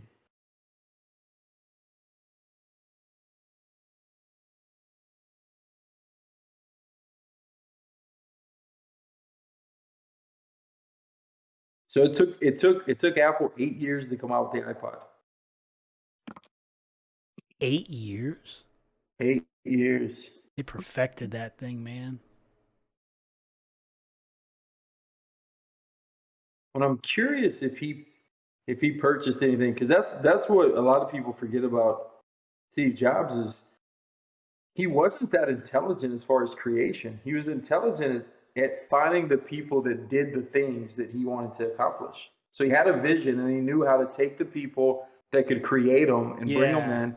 So I wouldn't be shocked if he took the people who created the first MP3 player, hired them, brought, them in, or even purchased the, the intelligence from them, Yeah. and then turned around and started working on it. I don't know that, that, that Steve Jobs has ever invented anything himself. Well, and I feel like Everything like he did was he took and created and built on things that already existed and made them so much better. Yeah, I was gonna say I think he revolutionized Yes. the product. innovator not in for not sure. yeah, innovator, not inventor. Not inventor. Yeah. Yep. Yeah, yeah, yeah. yeah. I agree. And he might be one of the greatest.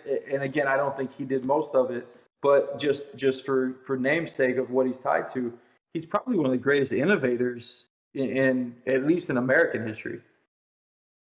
hmm He didn't Did invent the think you- computer, but he did quite a spectacular thing with it that changed the entire game. Yeah, Yeah. I mean, because you, 'cause you think about anything else, like when you when you look at things like a, an airplane, airplanes are faster, they're they're they run differently, but of it essentially they're not really innovated to be anything that much different. When you look at the telephone and you look at the computer and you realize that both of those are now one and the same. And music player and television, and you think about like him being at the forefront of innovating those things in a way that in 1980s you could not imagine having a phone that could play music that you could watch TV. I mean, that, And that's the yeah, size of your hand. size of your hand. Like yeah, this this size. Yeah. Going Yeah. back to what we were joking about earlier, is that like, that would have sounded like something something from the devil. Yeah. Yeah. right? People in the 80s would have been convinced that Yeah. that was the work of the devil. Yeah, yeah. I've I've thought about that a lot. Um, where like with a phone in general, like, and, and video games and stuff too, is like, what would people fifty years ago think about? Like, if they got transported to right now and the stuff we have, technology we have, you know, like the first like the first Disney films, the first Mickey Mouse, first Bugs Bunny, and how they had to put these things together with projectors and multiple clips and stuff. And now we're just like, hey, listen, I'm just some guy that lives in Ohio and I could make that exact same thing in just a couple hours from scratch. Mm. I, Rather I'll than give you a needing an entire take. studio of people. I'm just saying, like, I wonder what people would think, you know, oh, you know, like, yeah, I don't know. I, I, I think they'd be so, and, and this is just just just with some psychology background. I, I believe that they would be so overwhelmed that they would be more suicidal than our current generation. Because when you and I know we look back like they're mentally tough and everything, but when you look at how simplistic things were 50, 60 years ago, when you look at the fact that you know I, you know uh, I know one of you have kids, one of you don't, but but Zach, I know your kids are young my kid, you know, mine's teenagers. So for me, like watching what my kids experience in social media that I didn't experience in the 90s, Mhm. like that's significantly different. You, I could sit there and you can call them weak or or sensitive or whatever, but my daughter can be bullied at school. I could have been bullied at school. I can go home. I'm not getting bullied at home. But my daughter, she goes home. That bullying follows her anywhere she's got a cell phone anywhere she's got a laptop, anywhere she's got an iPad, you know. And so, and if it's and if she doesn't look at them, every other kid in her class is looking at them. So she goes to school the next day, and there's a whole new layer of bullying that existed the 12 hours she was sleeping. Yeah. That like that that happened, right? That happened. Like you you didn't go to school the next morning and say, you know, how have I been bullied the last 12 hours? You just started with a fresh new bullying session that morning. Creativity. Yeah. So so it's you know so so it's a totally different thing. So I think when you think about you you take you take let, let's say let's say our grandparents. You take our grandparents and you fast forward them into into this type of living with the childhood they had, it'd be absolutely overwhelming. Because they didn't get eased into it, it would be it would be so drastic Yeah. Yeah. that it would be hard hard to comprehend. I got I got bullied in school. I switched schools and everything, although I probably didn't need to, but I did. Like yeah, it it it didn't follow you like it can today with social media like you're saying. Yeah. Absolutely So, so my so I think it was two years ago. So my daughter, she was getting bullied, and they went and started making TikToks about her. So then she gets text messages um, on her or message wherever they are on her iPad saying, "Hey, these people are making making entire TikToks about her with her face on it." Right? And so in the time she should be resting, you know, seven, eight o'clock at night as she's going to bed, she's getting these messages. And these things elevate. And I'll, and I'll add another touch to that, right? Like where kids are in these things. And and my wife is a federal law enforcement with crimes against doing crimes against children. And for her, when you realize where kids are these days and the things that happen in schools, the the age at which kids become and just to keep it light and PG predators that again we didn't have to deal with right? We didn't know we didn't know what most of those things being said. Most of the things in just Zach's um, song earlier we didn't know what those were 10 now most 10 to 15 year olds do know and so now you have all of these levels that that stuff creates that our grandparents would be absolutely overwhelmed with yeah. Yeah. I because it's layers yeah, totally. I totally get that. Totally understand. It's also the it's also the same thing with um like uh especially in like it's more on on my Twitter feed. I don't know if it, it would be on your guys' Twitter feed, but like uh I follow a lot of like big names in esports and uh and a lot of FPS players and things like that. And some things from FPS players past are coming up now. Or just in general, like streamers, content creators, a lot of things from their past will will come up because they were on the internet. And the internet never forgets. And so some people are like permanently banned or ultimately never uh, looked at or even thought about when it comes to certain things because of what what they did five ten years ago which is just it's absolutely crazy. And and I think what's craziest about that is the internet is the most forgiving place and the most unforgiving place at the exact Yeah. same time. So you can do something absolutely crazy. You can be, you know, I'll say internet, but you know, a little bit of TV too. You can be dog the bounty hunter at the prison for a hate crime and still get a TV show. You can be James Charles who was flirting with children and and still still come back and be a millionaire. But but at the same time, if they find a tweet from 10 years ago where you said something at 15, 16 years old that was questionable, expect to be canceled for a year. So Yeah. it's super forgiving. You will get you you can get back to the same fame after roughly a year. You know, David Dobrik, you know, the the fact that he is, you know, it's pretty much been proven in some civil lawsuits that he was aware of um, some abuses of young ladies being taking place in his presence. And yet he he he came back. He took what three, four, five months off, and he comes back with the same you know million dollars. Yeah. It's forgiving and unforgiving at the same exact time. Or it's like uh, that one that one content creator, the the YouTuber. Uh, I can't remember his name. Uh, I think it was like Slim or Oh, see, or just like- recently? oh, I guess- Speed? yeah, yeah, just Speed? recently. What Was it Speed? speed? Maybe that was it. Because he was on, I'm pretty sure he's a YouTube streamer. Yeah, YouTube streamer, and uh, he's super young, like 16 maybe, or or something like that. And uh, he was like, like saying some really really off the cuff things during a game, and he was like really belittling this uh this girl in his lobby uh and things like that, and he was like really going after her and like pretty much made her leave the game and all this different stuff. And so uh, it was pointed out, and now that now he's unable to ever play a Riot game for the rest of his career. Like they they banned him on Valorant and they banned him on all other Riot games ever. Pre- or And past, that- present, and future. And that's the unforgiving part, right? Is like so the forgiving part is if he goes and plays Fortnite and has success, the internet will forgive him. Oh yeah, the unforgiving part is, is is you never know like i tell i tell all my clients especially my young ones who are anywhere between you know 14 and 25 like if you haven't done it yet go go go delete your social media start fresh or go delete every single post because at 14 15 16 17 even if you didn't tweet something offensive you tweeted something ignorant right? I mean probably all the way up to 25 right? Like you, yeah. at any point you can and, and here's here's the thing it's evolving. So it's not necessarily just the fact that you tweeted something ignorant. It's the fact that what is ignorant in five years may not have been ignorant when you tweeted it.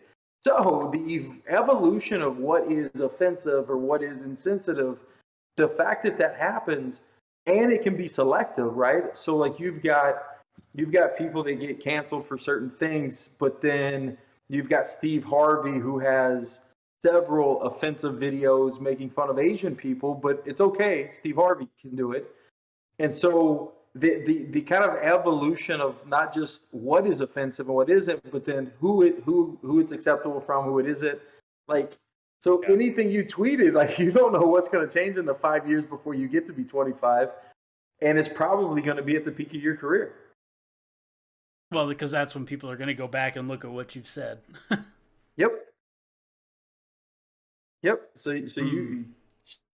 you gotta start you gotta start scrubbing that stuff or out yourself and just say, hey, you know what? I've been looking back at my tweets and there's a lot of stuff on here and I sucked and I was a, and I was a terrible person and I want you to know that's not who I am and before anybody brings it up, I sucked and I apologize. Because otherwise, somebody's gonna out you at some point. One day. Yeah, and I feel like people they look back at like 5 years ago and you got to you you got to look at like where things are at at that point cuz things have changed. But I feel like people don't look at that. They they act like you've tweeted that thing today. And it's like no, that was 8 years ago and I was a 14 year old. One it was stupid cuz I was immature. And two that's you know that was acceptable then. And and it's that's what's frustrating to me sometimes. I think Zach, I think that's a oversimplified way to look at it. I think that's that's looking at it from a Christian perspective, and I think we have, and, and I agree with you. So I'm not saying that that's wrong, but I think that we have, com- you know, we've made things so complex, and I think you know we see this going with the world being so secular today. Is that it's can I see the consequences you got from your actions, right? So as a Christian, you should believe that the consequences aren't aren't important here on earth they're important at the end of that right so when we look at that stuff and, and, and, you look at like a lot of the backlash and it hasn't gotten a lot of heat but a lot of the backlash on mark Wahlberg, right because yeah. mark Wahlberg committed a hate crime and he didn't get the sentence 30 years ago that people think he should have gotten right and so and it's not necessarily the fact that he committed it; it's the fact that he's had success and fame since. Because he wasn't he was he wasn't wealthy. He was broke. He was poor. His, his brother hadn't hadn't you know started his his success yet. That would eventually pull Mark Wahlberg into it. And so I think it's that whole thing of us being addicted to what do we think the consequences should be.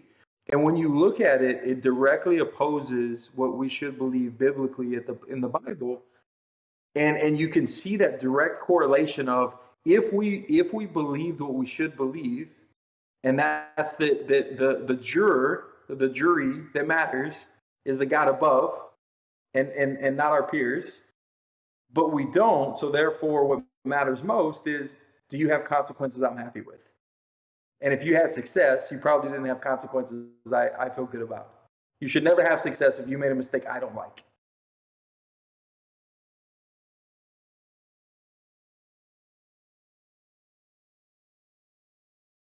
That's that's frustrating. it's like just oh, I don't know. It man. is, but it's where we're at. Like, I, it, it is. Unfortunately, it's where we're at. I mean, there there is there is nothing. And and and you know, I know we got a little political earlier, but go back to politics, right? So you you watched this last week with the Supreme Court justice, regardless of how you feel about it. At the end of the day, again, the argument was about what what if if the consequences match what certain people believe the consequences should match too. That, that's that's that's kind of where we're at in all things, right? Like almost everything you see that's drama related, right, is about do the consequences match what makes people feel good, what makes people feel safe, or or whatever whatever the word may be that that you can fill in for good. At the end of the day, that's what it is. It's not a, it's not about fairness. It's not about love. It's not about anything that you can find biblical.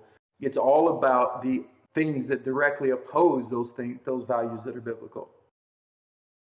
Which makes sense. One hundred percent. One hundred percent. I don't even have I don't have a response to that because I'm just like, you're right, and I I'm just like frustrated by that. Man. Well, and I think to go back to like something something Christian Ninja said, right, is like we were talking about before just that got on, we were talking about the um, kind of Nestle and Hershey's and some of the industries that completely, you know, have child labor and slavery and stuff like that. And how, why do they continue in the U.S.? And so, kind of to his point, like, how do you stop it?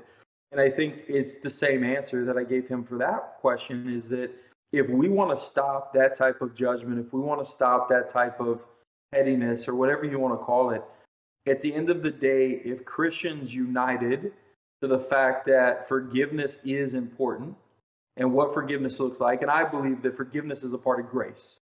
So I teach that grace grace is kind of your lead action. For every Christian, grace should be your lead action because grace includes love, grace includes forgiveness, grace uh, includes an open mind to listen to somebody else, to share back. It, it, it includes the courage to share.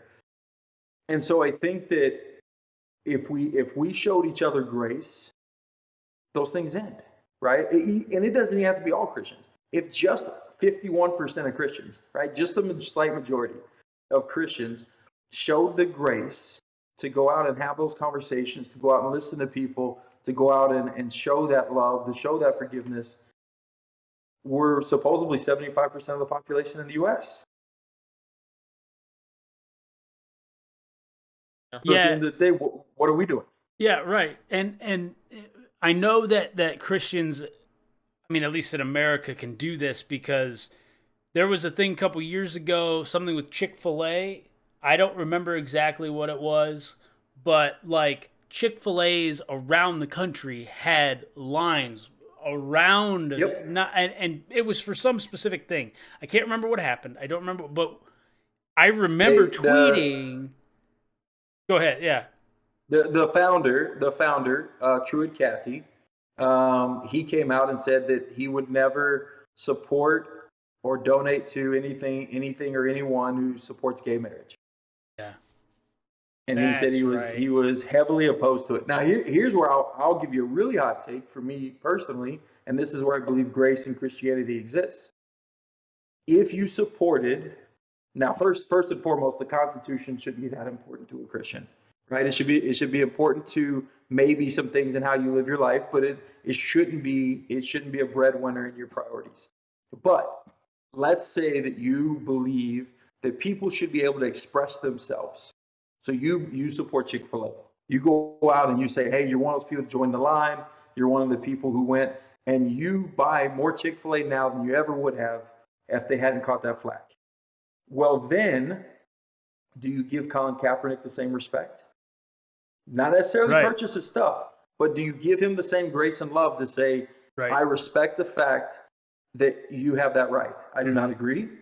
I do not support it. I will not purchase your stuff, but I will not villainize you yeah. because at that point, that's where that's where Christians look like hypocrites. Yep, yep. And and I've talked to my dad about this before too. There was something where uh, it was something that was Muslim related was banned. Uh, Maybe not banned, but it was looked down upon. However, because it was Muslim related, and I I don't know how exactly the conversation went with my dad, but I remember saying, I don't like that, and he's like, Mhm. but why not? Because you're getting rid of, you know, this Muslim outlook on something. I said, yeah, but at what point then does that turn to Christian as well? Because they'll be able to just ban whatever Christian as well. And so it's one of those things where uh,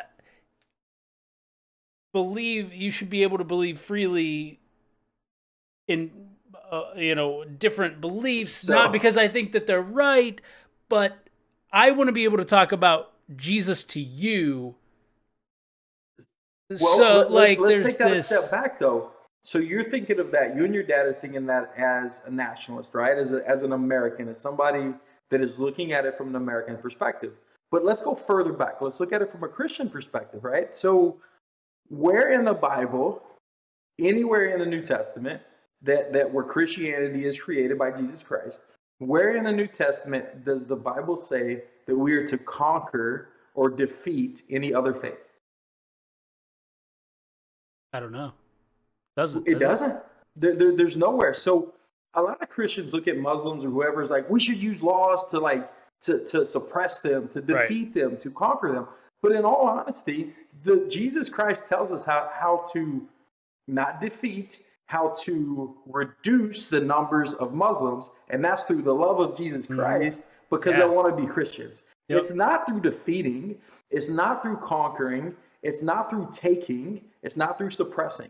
It is through the opposite of all of that, and that Yeah. is love and grace, and that is how people change. So, so I've been in situations where I've had employees that are that are of other faiths, and I and I'm I'm overtly Christian. There's no one who's met me that isn't in the same room as me that doesn't know that that's how who I am. awesome. I've had phenomenal relationships with those people because at the end of the day, I respect them. I have a team member right now who is Muslim and going through Ramadan. We have moved his schedule and we've made exceptions for him as a Muslim to experience his faith the way that he needs to experience his faith according to his faith. Mm-hmm. That does, if I suppress that, what does that prove about me as a Christian? Yeah. If I tell him, hey man, you can't do those things, right? Because I don't agree with them. So therefore, I'm just going to make it difficult. That proves to him that Christianity is wrong. Christianity is the enemy of what I believe. But if I say, hey, I absolutely respect that, so let me make sure that's That's easy for you. Let's move that around. Now his, his his belief, and I don't know what his belief is, so I'm putting words in his mouth, but my belief is is that he's more likely to see the kindness of me as a Christian than he would have if I'd have just said no. He, he there's no chance that if I'd have said no, he'd ever believe in Jesus Christ. Right. But there's, I believe, a, a larger chance that he could believe in Jesus Christ because of that those experiences. Yeah, absolutely, absolutely.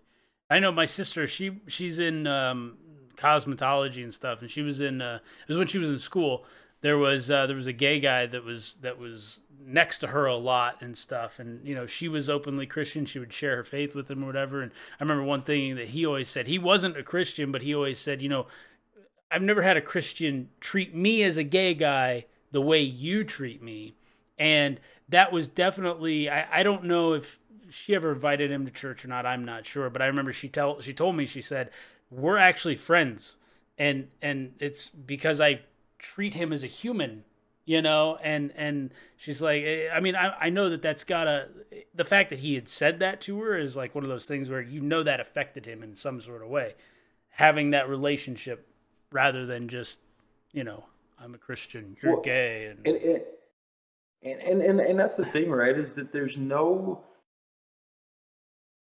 there is no and, and i'm using this word different than than what could be tied to the bible but there is no oppression suppression or conquering or defeating in the bible. It, it just it doesn't. There's nowhere where you're instructed to defeat all gays to defeat all muslims to defeat right? It, it, it is the exact opposite. It's to love them show them who jesus christ is Mhm. and and hopefully pray and create a community that will lead them to to the light to that path. Yeah and so if i'm carrying a if i'm carrying a big old you know sword or a big old bat or a big old firearm or whatever it is and i'm going and saying hey you've got to believe this. Where, where does it get you? I mean look at the number of native americans that resent christianity today because of the forced christianity in the late 18 early 1900s it's a pretty high percentage that will tell you they want no part of christianity because of that experience if you go and you look at the some of the stats on the growing anti-christian movement in the african american community a lot of it ties back to the fact that the, the perception is that christianity was forced on the slaves. Hmm. now it's not true. That's not it's not fully true but there is enough truth to it that people feel they were that they're generationally forced into it. So why would i believe it? So the conquering and forcing and suppression and, and all of those things opposing to love and grace, it, long term it doesn't it doesn't save souls. Yeah. It probably costs it probably costs more than it saves. And again, I know it's a hot take, but that's that's my perspective. No, I, I I agree with that. I mean, I, I just it's it's like you said, you you disagree, but you're still going to um you know respect them as a human being. I mean, that's yeah. Good stuff. I mean, you, yeah, you can't you can't have you can't have grace and love without uh without respect. That's something that for me has um it's been made aware, I guess, in myself. I don't know. Within the last couple years, is just the the importance of human life, regardless, regardless of anything and everything. You are a human being, and your life matters. I mean, yeah, I I it was uh, there was a lot of stuff on Facebook at one point about um, Black Lives Matter, and then there was the Blue Lives Matter, and there's, just all that stuff. I'm not trying to get political there, but somebody made somebody said something about you know the lives that matter, and I'm like, yeah, but uh, like it was it was something about I forget exactly how it went, but I remember talking about how as a Christian, yeah, every life does matter, and I made the reference to Hitler and I said, I know he's a bad guy. I get that. But his life mattered. Hitler mattered. like, he's a human being. That's where, you know, I, I was having this. I think I was having a discussion. Somebody was like, you know, the Black Lives Matter, given all lives matter, and it was this whole thing back and forth. And I was like, yeah, but even And- like even Hitler's life mattered. I get he's a bad guy, but you know, like he, he's a human being. I, I won't go to I won't go to Hitler because I don't want that hot of a take. So I'll give you I'll give you I'll give you something that I shared with a lot of people when Kobe Bryant died. Um, when Kobe Bryant died, you know there there was a there was a thing amongst Christians and conservatives of like his past, right? Like he had the the accusations, he had the affairs, he had all of these things, and so people, you know, and and supposedly was a devout Catholic, and people people were super. It seemed like conservatives and Christians were super discouraged, right? Of like, why is he being celebrated? This guy's a terrible human being. I found a lot of I found a lot of um, excitement in my faith from Kobe Bryant, and I'm not a Kobe fan at all. I, I think he's the most one of the most overrated basketball players of all time. Ooh, Um, and, that, and and that's not my hot take. hot take. but- I was gonna say That is a hot take. that's a hot take. But, Oh, but I I think I think that what what excited me about Kobe Bryant's life is that this is a man who was a Christian. However you feel about Catholics, Christian, right? And then this is a man who sat and said, and most people don't know this because it wasn't hot enough to make all the media, but if you look it up, you can find the interview. He shared that he sat at the at the civil lawsuit of that young lady and he watched her in another room from a camera, watched her share her story of what happened, and he said, I do not believe I did those things, but I believe she believes I did those things. And so I believe that I should ask her for forgiveness. I believe I owed her an apology because I could tell that in that room, whether I felt like I had done those things or not, that she seemed to be telling the truth. And in that, he talks about going to priest the priest the priest and asking for forgiveness and struggling with infidelity and struggling with sexual um, temptations and all of these things that a lot of Christians have a struggle with.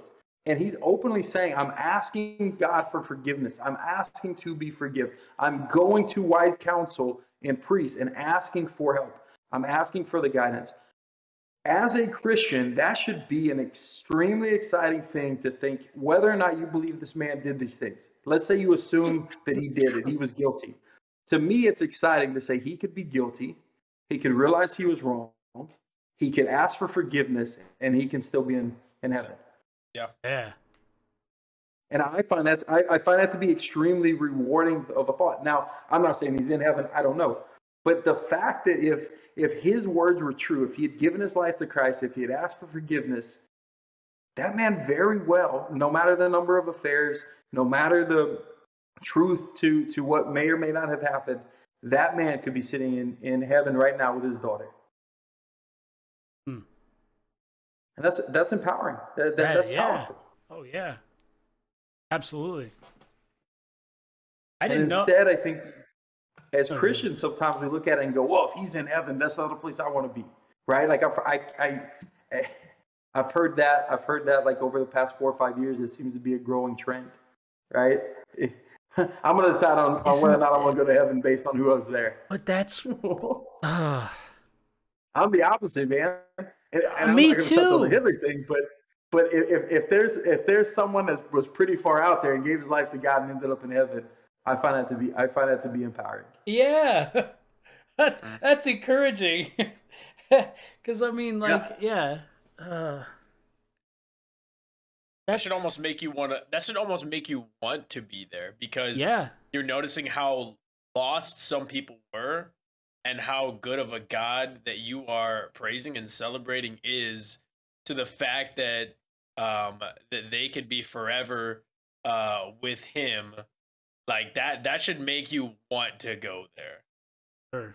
And- Amen. And here, I'll add one thing to that. Just Zach is like, here, here's the here's the best part of that for me, is that to your exact point, is that in the in the United States specifically, we are a world chasing acceptance. We are a country, a nation chasing acceptance. And now, to your point, you have a God that is accepting everybody. right? If you if you deem him your your God, if, if you give him your faith, Yeah. it doesn't matter what you did. He accepts you. He loves you. And to me, like I, I wish that we'd have more conversation about that because I think at the end of the day, that is what everyone is chasing. That they're chasing the acceptance. But when you look at heaven, I truly believe, and I know a lot of people have a lot of beliefs on heaven that some people believe there's like 15 people there, and some people believe there's 15 billion people there. Regardless, I believe that you will walk into heaven if you have a memory of history. It, you'll walk into heaven and go, That guy's here? Yeah. that person's here really right and and i think that that's that's for me that's convicting right it's it's it's you give god your faith and let him do do the work and it doesn't matter what you did before that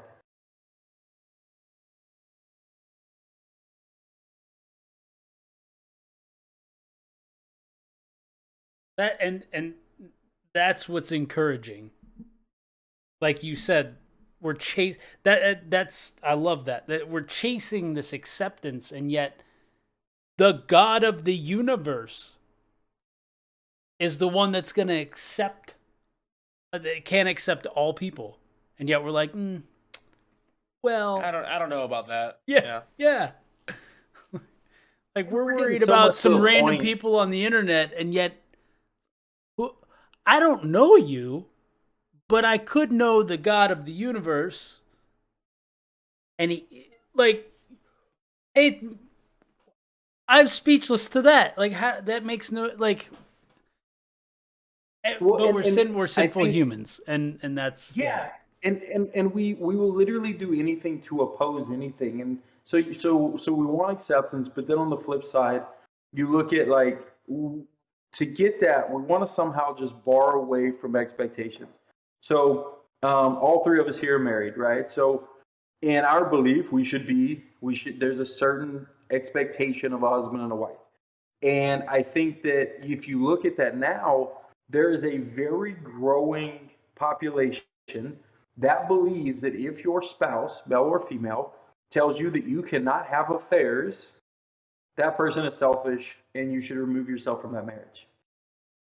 Right? So polygamy is one of the fastest growing trends in the United States as of this moment. And it is one of the main reasons is is that you should be able to still make all the decisions that you would make if you were single, including including the the the, the passing yourself around. And so I think that when you look at that, we will do anything. So we have someone who accepts us. We have someone who loves us, and and and hopefully as unconditionally as humanly possible. And they're they're giving their commitment to us, and that's not enough. That's not enough. Eh, nah, I, I I need more. Well, what more can they do? Well, I want I want to be with other people. Well, so you literally want the one thing they can't do for you. No matter how much counseling they do, how much they try to improve themselves, you literally want the one thing they can't do for you. Hmm. Yes, yeah, yeah, that's what I want. And so the acceptance has to be from the masses. It, it can't be from one. We're getting to the point where it has to be from multiple people and almost any topic or subject. And I think that's why you're seeing like more pastors get caught in affairs and things like that. Is that that all of that has become addictive and and something again I think that churches have struggled to discuss is that that is a that is a that is a current issue of there's never we're getting to the point of having temptations that can't be solved because of the chase for acceptance in a way that that didn't necessarily exist prior to social media.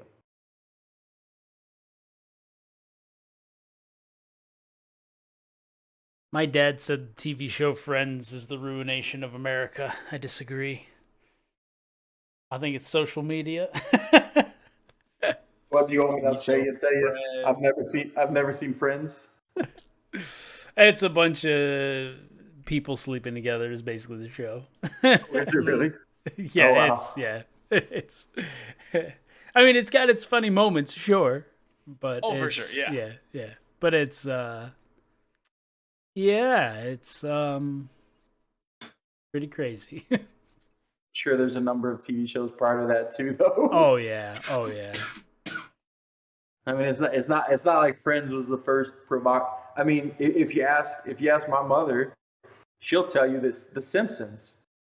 The Simpsons. I wasn't allowed to watch that growing up. Yeah, My parents My- told me my- about that though. They said that the kid, which was Bart, was disrespectful to his parents, and that's why I wasn't allowed to watch. So, so my mom went a step further there. She believed, and, and it's funny because I have some some shared belief in that today. But she believed that the the cartoons were specifically used to target children by pretending to target adults. So it's supposed to be more of kind of a, an older adolescent adult show, kind of like the Family Guy ended up being. But when you but by being a cartoon, it was molding the minds of children. That makes sense. And when you look at the sti- stats, there were millions of kids that watched The Simpsons. There are millions of kids that watched The Family Guy. And depending on what, what you believe, it's it's it's a possibility that you believe that those are things your kids shouldn't be watching. But they're they're performed by being animated in a way that is intended to attract your children. So she believed that that was the beginning of evil, or today's evil. Was was Simpsons, huh? Yep, the Simpsons. Simpsons. I was I, I wasn't allowed to watch that show. And Neither I'll was tell you I. what, I Yeah, I wasn't. I never did either. A lot seen of the an episode. shows, the ga- the video games I wasn't allowed to play as like a kid or whatever. I've eventually played them. I've eventually watched different shows, whatever. Simpsons is one that I never did. Also, Harry Potter. I never watched Harry Potter. So never watched or played anything my mom was against. I and, and it was never not at least not that I didn't do then. Like Well- we were talking earlier about Bone Thugs-n-Harmony. Yeah. Like I kind of out myself. Like I I shoplifted that that CD when it came out Nice. because I knew my mom wouldn't let me buy it. So so I funny. literally stole it uh, um, because because like like I, I needed to have it like I needed to hear it and you know and, and I was a high schooler at the time when it came out and it- everybody was listening to it so there were moments as an adolescent where I did it but like I've never went back and had any curiosity about the Simpsons or and to this day I don't watch any animated shows if it's if it's animated I won't watch it I think animated is intended for children and we've made them adult and they attract children. So as crazy as I thought my mother was when I was a teenager, I've now found myself in that same lunacy. So so you don't you don't watch anything animated. Nope. I've never Sound- watched anything animated unless I'm watching it with I'm be honest. You sound like you don't watch anything at all. No movies, no no animated TV. Like, yeah, So I watch a lot of educational stuff, but oddly enough, I won't watch documentaries. Um, but I, I, I probably watch just too much like like realistic, like kind of like drama thrillers, things that like can humanly happen. So not too crazy, not too wild, not too too dark. So no, nothing horror related with you know demons coming out the walls. yeah, yeah, But- Yeah, I don't, I don't like that either. yeah, Yeah. Not a big fan. Not a big fan. yeah. The only the only thing that I think that that like my mother would tell you she'd argue is demonic that I would watch would probably be zombie stuff. Uh, Like, like I've seen The Walking Dead. Walking Dead. Yep. The train train. So we are talking earlier about best movies. I think Train to Busan, Busan, however you say it, is one of the best movies that has ever been made. I gotta tell you, I'm a big fan of um the movie uh Gladiator. I'm a big fan of that movie. Not I'm not saying it's like the best movie of all time, but that's definitely when when people ask like, oh, you know, if you could pick three movies, you only could pick three movies ever to to be able to watch. Like that might be one of my three. And I mean, you got to think that movie was that movie was in what 2000, 2001, Yeah, it was early And that- 2000s. and that movie was incredible. Hmm. Like, like, so yeah, it's at its time. I'd, I'd sadly, and and I don't think I've watched it as a Christian, but the movie that I've most enjoyed was The Boondock Saints. I thought that was like the, the greatest movie it. to ever be made. Never Yeah. watched it. What up, Billy? What up, B Gilbert? How you doing, man? Oh, doing all right, man. What about you? Not the B. too Gilbert. bad. See got if the we whole, got. whole nice little setup over there and, and everything. Got the got the kids spot behind me, and I'm trying to do flooring over there. So Yeah, your flooring project's coming along, man.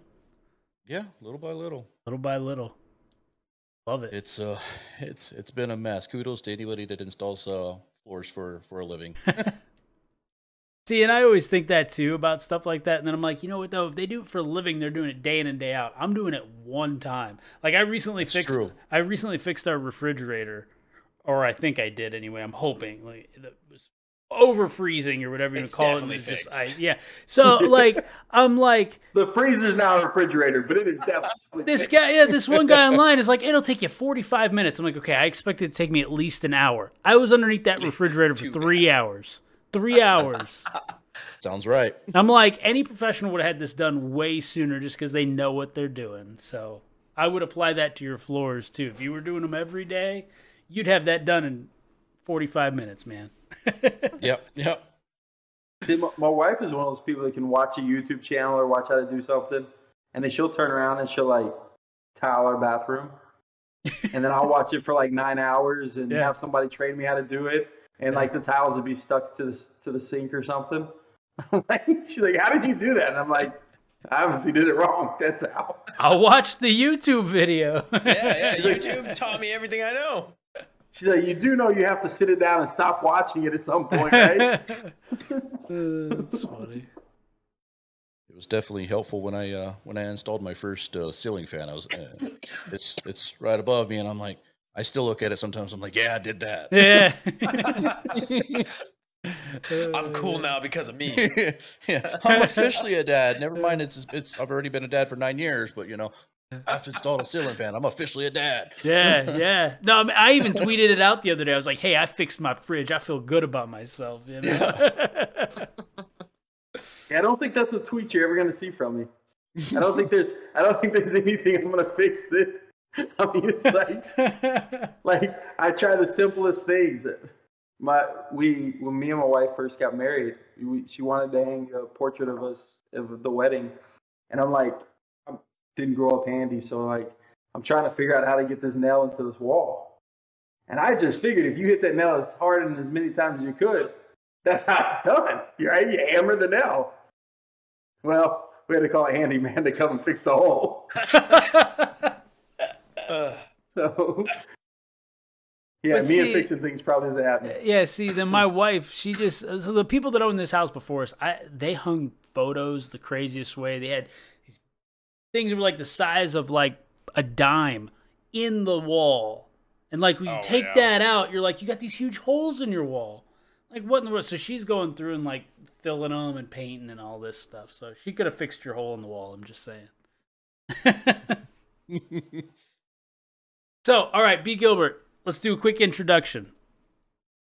So, I guess who are you? What are you doing? Um, like introduce yourself however you want, and uh, Sure. then like what are you doing as far as in the content space? Uh, so I'm uh, uh, obviously B Gilbert, as we've established, but uh, married, got a dad of three. Uh, they're all under ten, all boys. They uh, they keep their hands uh, plenty full, and um, recently started leading a small groups on uh, on Wednesday, and uh, of course when I stream, I stream uh, Monday, Monday, Tuesday, and uh, Thursdays, and Sundays now for the Rocket League uh, team, uh, Armor of God esports team, and um, I'm I'm basically on all the platforms because I chose to give up my affiliate status because we get to reach more more potential people in the dark by being on all the platforms, and, uh, and that includes LinkedIn too. People's like LinkedIn, uh huh, LinkedIn too. That's awesome. Um,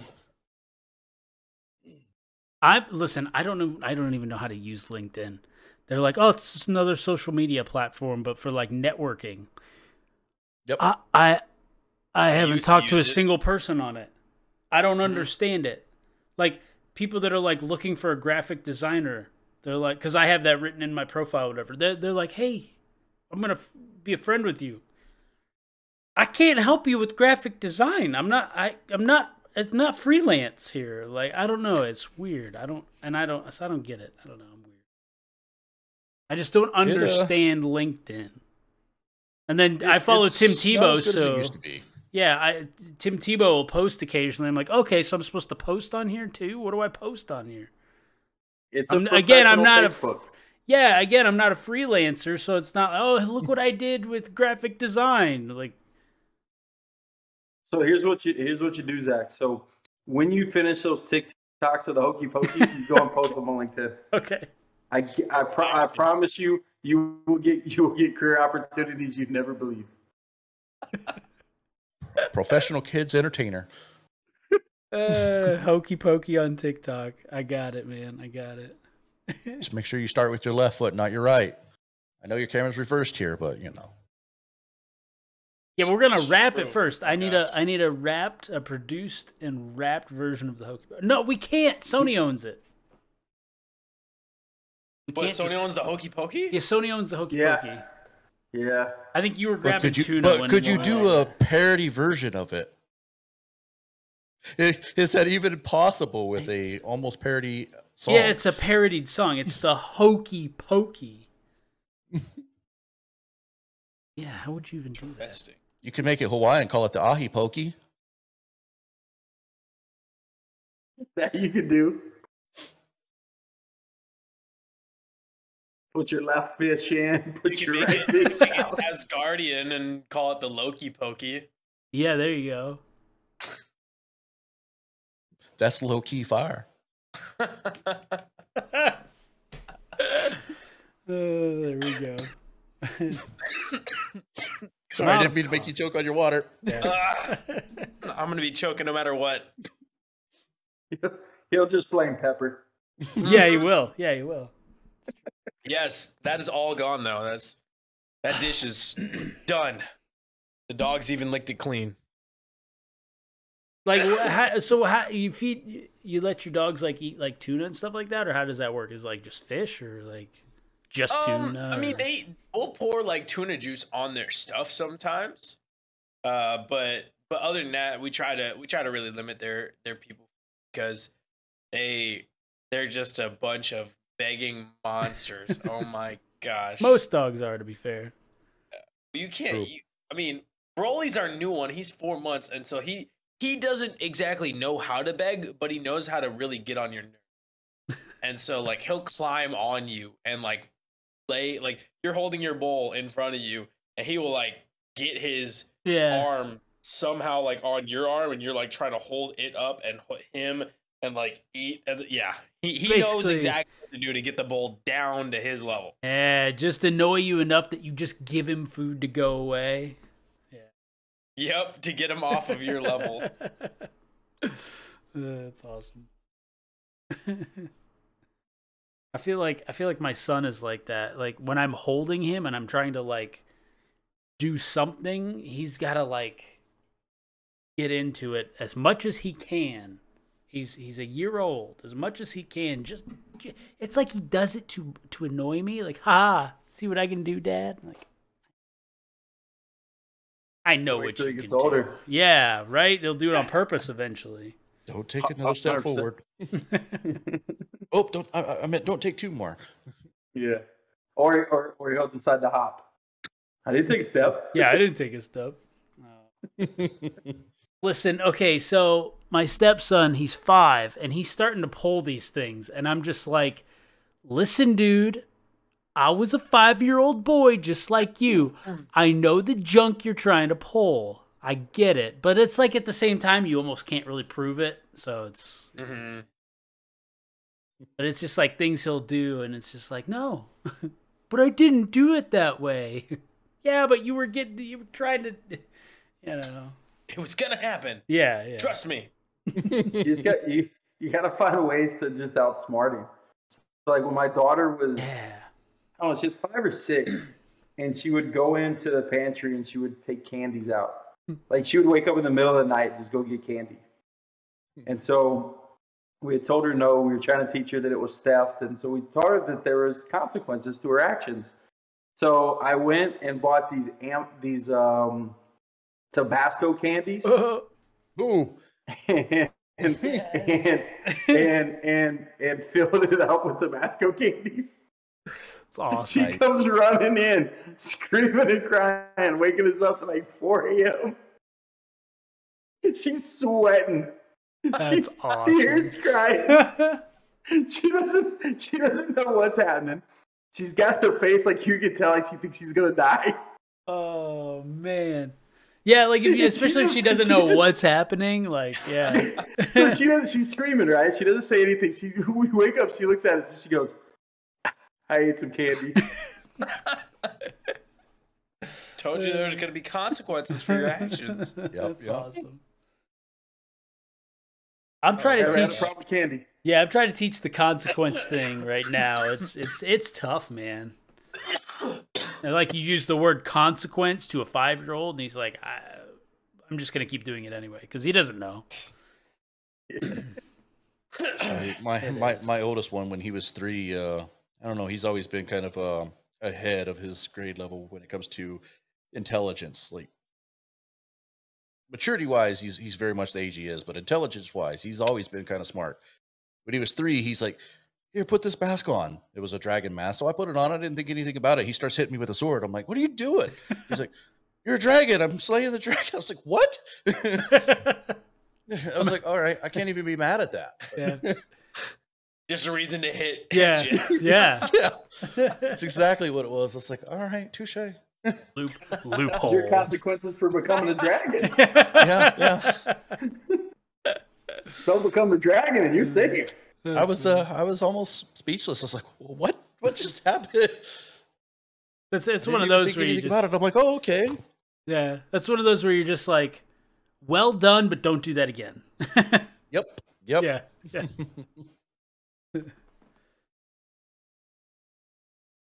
Yeah, it's hard to tell sometimes if, if kids are uh, uh, exceptionally intelligent or, or if they're like so dumb you can't figure out how to outthink them. Because they'll, they'll come up with like the most clever things that you're like, that was brilliant. But then you think about it, and the next day you, you, you see them with their finger in their nose, and you're like, no, he's not that smart. yeah, Yep. This guy outplayed me. I can't believe it. yeah. yeah.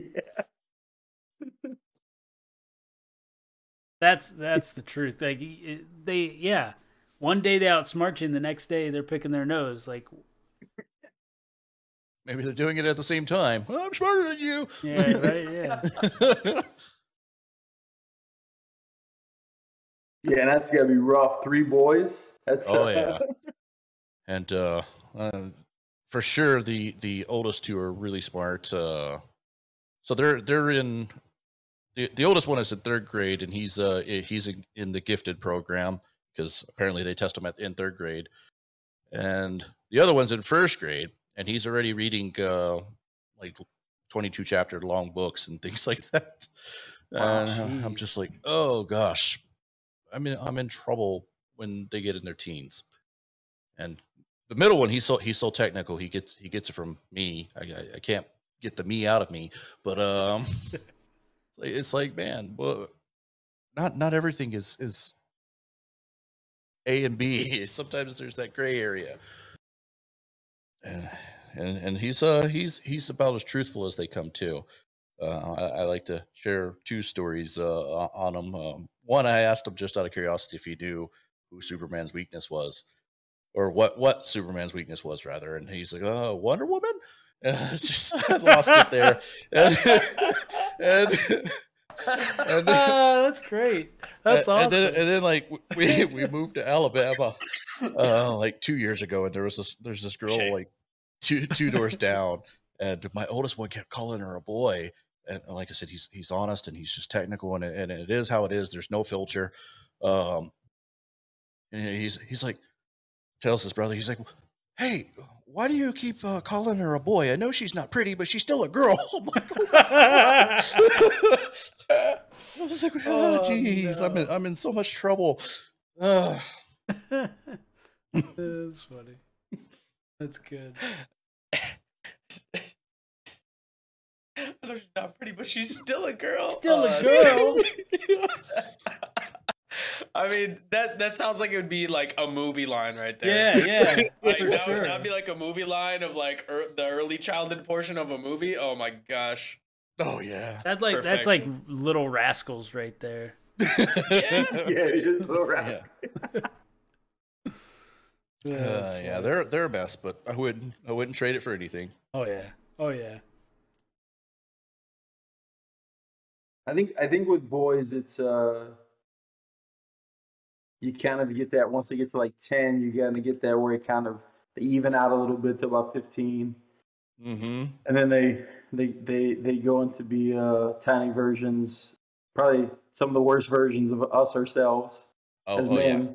And Oh, yeah. then the the girls are the exact exact opposite. My daughter, she, I think from like man, eleven to fourteen was like. I I I told her one day. I said, "You know what? You're my child, and I think God wants me to love you, but I really don't like you. oh. You're not likable." and she still tells a story that story and I'm like she she just like she was mean and now she's gotten to this thing where like she won't she won't hang out with other girls because they're you know posting half naked on on Mm. tiktok or she wants to go and she wants to um, donate time at, at a down syndrome um, home and so it's like like watching her at 15 versus versus boys it's been like significantly different. Like you see this maturity, you see this like she's she's she's already planned all of her all the stuff she's got to do for a resume to get into Harvard. Whereas wow. the boys, I've I've, I've got a, the same age as her. He's 15, and him and I talk every day, and it's like this kid's like waiting for the for everything to land in his lap. He's like, I don't have to plan for that. I'm gonna be a millionaire. How? How? You're gonna be a high school dropout at this point. Yeah. He's, like, he's convinced though it's gonna figure itself out. I've been that way most of my life, honestly. I'm like, you know, and I, and I feel like Michael Scott in The Office because he there's a line where he's like, you know, I thought I'd be like a millionaire by the time I was 20, and then I was 20, and I still wasn't a millionaire. So I thought for sure by the time I'm 30, I would have a yacht. And he's like, but it wasn't by 30, so I'm hoping that by like 40, you know. like, well, what are you doing, you know? And I feel like that sometimes. I'm like, you know, I'm just hoping that it'll happen, you know. I told my wife once. Um, so in October, I moved out to Oklahoma City in about a six, 12 hour decision. And so living in Phoenix, make the decision, have the offer, all of it happened in less than 24 hours. And I was literally in, in, in DFW in Dallas um, within 24 hours of the first offer decision and then being there.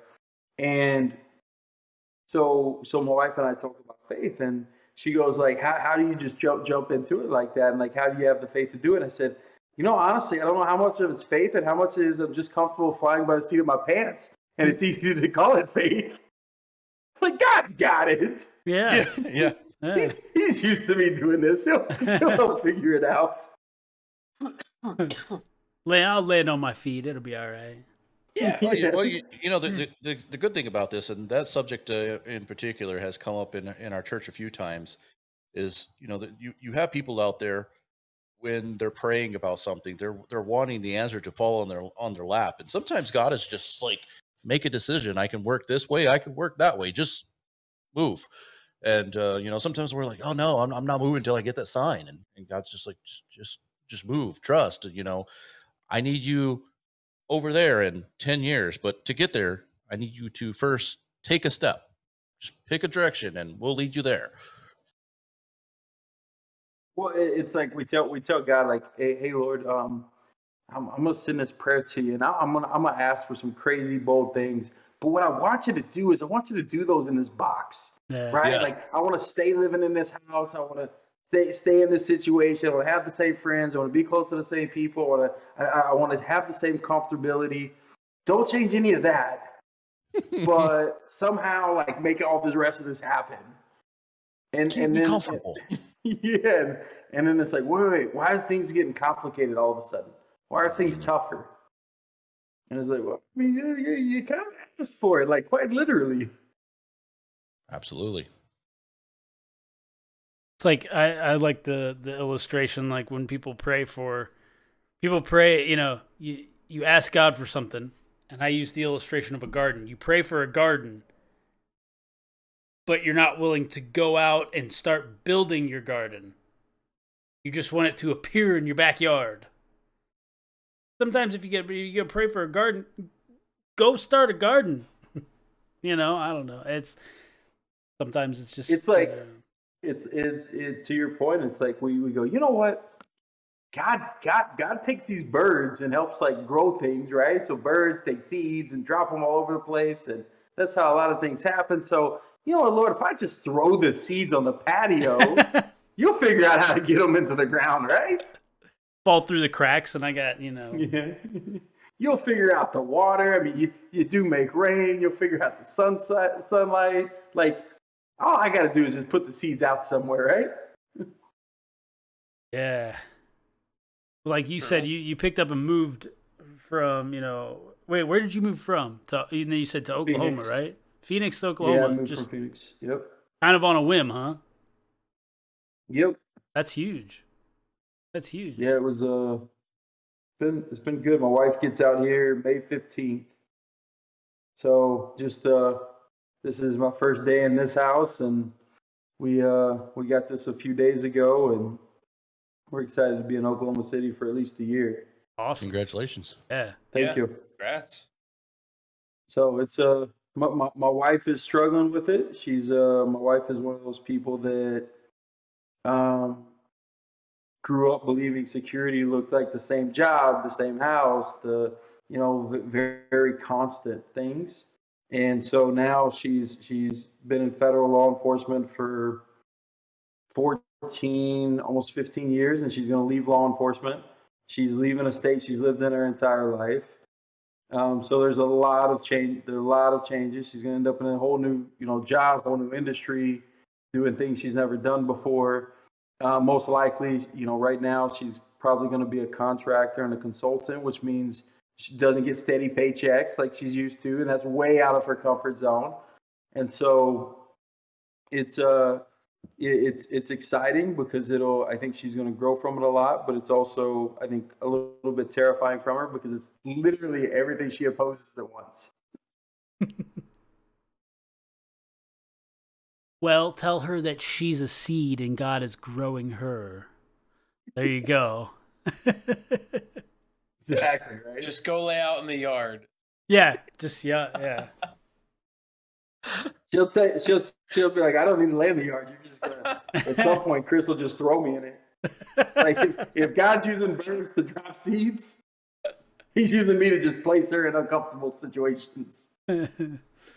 Uh, that's funny. Because that that's been like ninety percent of our marriages, and and you know, thank God that we've came together through it all. But her and I are polar opposites in that. Like she's one of those people that needs all that constant, you know, consistency. And for me, I'm, I'm I follow whatever I believe my where my faith leads me, and I follow my heart. So there are times where, like, I just came home and said, "Hey, I gave up that big client," or "Hey, like the, we had, we had a, a huge struggle. In, I think it was 2014, where I'd gotten this like massive client. They wrote this massive check, and then three four days in, I find out that the the guy who runs is just a massive sexist.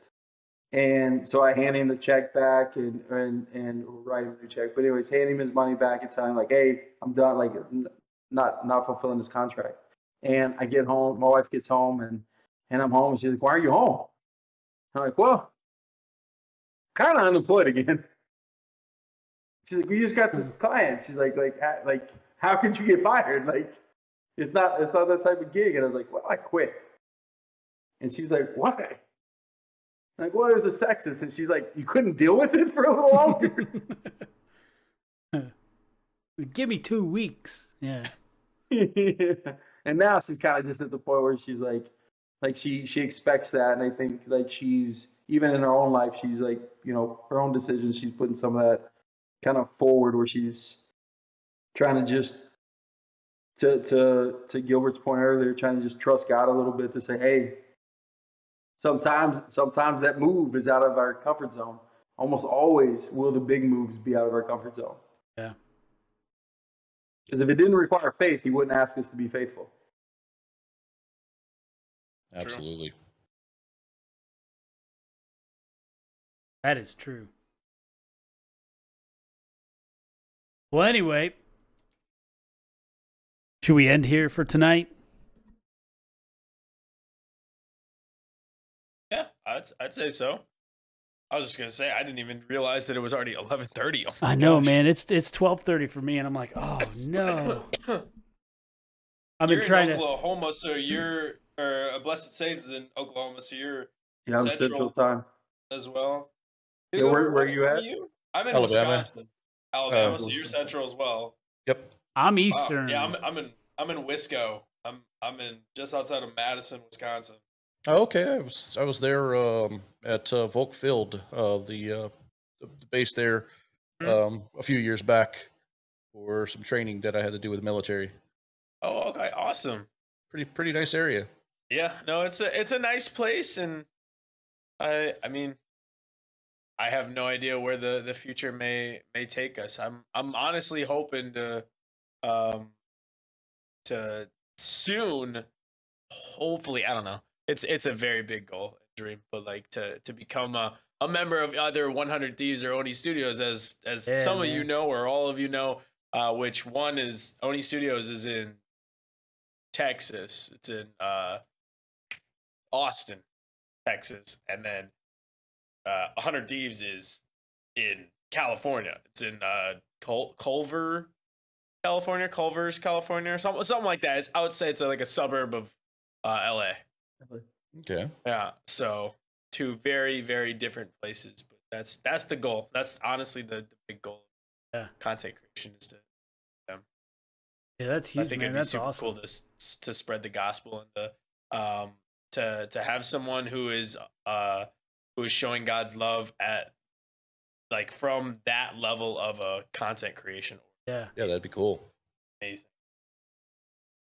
Well, I think there too. There's also that um, that angle of even the people that you're, you know, you're hanging with. You know, like being able Mhm. to talk to them about that kind of stuff too. Yeah, being able to talk to the big like big creators and Yeah. the the people who like are in charge of these businesses like on a daily basis. Yeah. Like just you know, getting into those deep conversations with them and uh creating lasting relationships with them and being someone who's, you know, is there for them in that aspect is would be amazing because I mean, I want to make friends with these people because they're cool. At least I think I think a lot of them are cool, and I don't want to just be become friends with them because they're famous. Although that has its perks. For sure. I, I think the cool part is, and and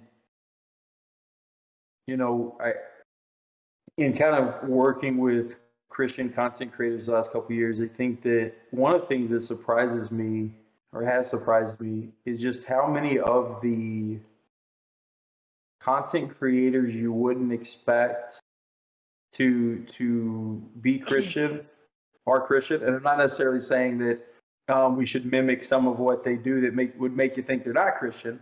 Mhm. But it, it's interesting. Like if you were if you were in a room, just Zach, with certain people, like how much influence you could have, being that there there's a commonality there, but not necessarily a positive role model there.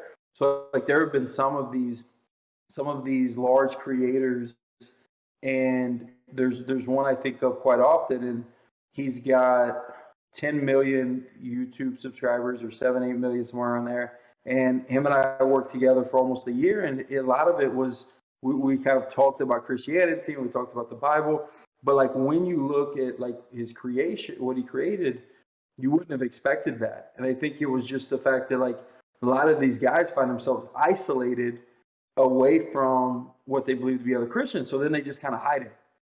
But when you bring it out, like I think you, if you watch enough Tim the Tatman, there have been spots where when people bring it out, he brings it out.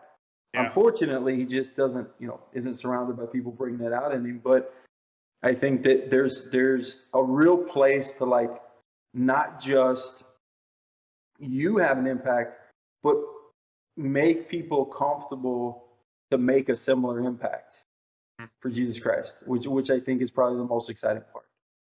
Yeah, no, that's that definitely. It would be it would be so amazing, honestly, just to, um, that and to to even like pick some people's brains about that stuff because there was one like uh, you had said like if you go into a room of creators, sometimes you don't even know that they're Christian.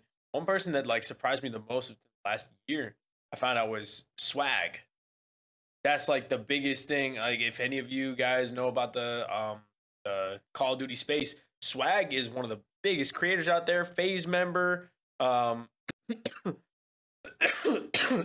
and uh, like it was just like three simple words that he tweeted one day. God is good. Yeah, I saw And that. I was like, what the heck? I was like, he's a Christian? I had zero clue. And he does it quite frequently. He like he tweets like God is good or God is great, um, or or like uh, God is fill in the blank uh, every now and again. And, I'm, and it's just something that that took me by surprise because I just saw Swagg and I was like, okay, fun entertainer, like loud dude would be super super cool to hang out with. But then now that I know he's a Christian, I'm just like, that's that's just such a cool thing to to know. It just like adds more to um who I even know who he is. Hmm. Layers. I, I don't know if any of y'all watch. Uh, I won't drop any names, but like Australian creators. So there's a lot of Australian creators, and in Australia, there's a a little bit. I think the U.S. is headed here, but a little different than the U.S. and just like what is obscene.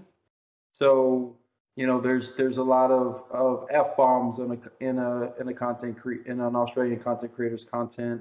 There's a lot of profanity, and so there's a lot of times it's like, at least from my perspective, it was like, okay, um, you know, Australia is not necessarily a Christian nation. These guys probably aren't Christian, and getting kind of referred to some of them, like most of them believe that Jesus Christ is their savior, um, and and a lot of them lead much more Christian lives than when you watch their content you would believe, because I think they they and it's not necessarily that they they do anything crazy on their on their their content.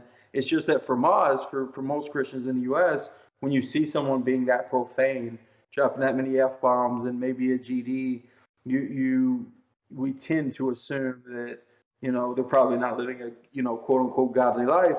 But it's it's been pretty amazing for me just kind of open my heart up to say, okay, there are there are kind of doors to this, right? So there's we've all got we've all got a door of darkness and and some of us got you know several doors of light depending on your where you're at your maturity your walk with with christ but we've all still got that door of darkness right? That's a that's a that's a thing that every single person has christian or not. And so it's interesting like when you're working with them these years like man like this person's real. Like this person truly seems to believe jesus christ is their savior. This person genuinely seems to to care about others love others put put work into loving others and showing grace and so it so it's something that that has really kind of transformed how i see other people is that you just never know. You, you never know where someone's at in their life. You never know where someone's at in their walk with christ. And you never know how you're going to impact that walk good or bad. You could kick them off you can drop kick them off the path. Yeah.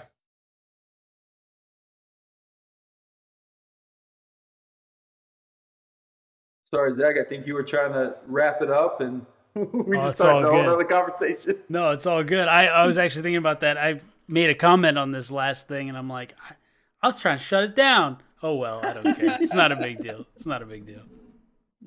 But I think we will shut it down mean- here, though. you're the only uh, one in the future so I know, I know. Hey, listen, it's. True. I was just about to say Happy Good Friday to all of you, and I'm like, wait, I'm the only one on Friday right now. Currently, yes. Currently. Yeah, if you if if if you stay live for another 27 minutes, we'll all join you. True. Uh, I'm trying. So I'm trying to do this thing real quick, real fast. I promise it's fast. Uh, trying to do this thing where I'm trying to go to bed like at midnight and wake up at 6 a.m. I feel like I'm I'm I want to make this schedule that I can rely on. I'll tell you what, it's a whole lot easier going to bed at midnight than it is waking up at 6 a.m. So Yep. Very much so. I, I just want to keep talking though. I found this thing. I watched I watched uh, TV show Shark Tank. Right. I love this. I love this show. I watched this show. There's this guy on there makes this bracelet that shocks you, and so it's supposed to help against bad habits. So like I bite my fingernails, and he's I like, yeah, if you one. bite you bite your fingernails, he's like, what you do is every time you go to bite your fingernails, you push the little button, it'll shock you, and your brain will eventually understand like hey, every time I want to bite my fingernails, there's pain associated with that. Don't bite your fingernails. And your brain starts to figure this out or whatever. And then you stop biting your fingernails or you stop smoking or all these things. Like, yes, it's like Pavlov's dog. Uh, it's dog. actually called Pavlok, is what it's called. Or no, yeah, Pavlok, I think, or something. Anyway, yeah, but it's that same idea. And none of the sharks bought it. They they're like, you're a bunch of baloney, blah blah blah. I went on their website. and I'm like, I gotta buy one of these things, man, because like it also you can like the newest version of it. You can set it to uh to a time that will wake you up in the morning.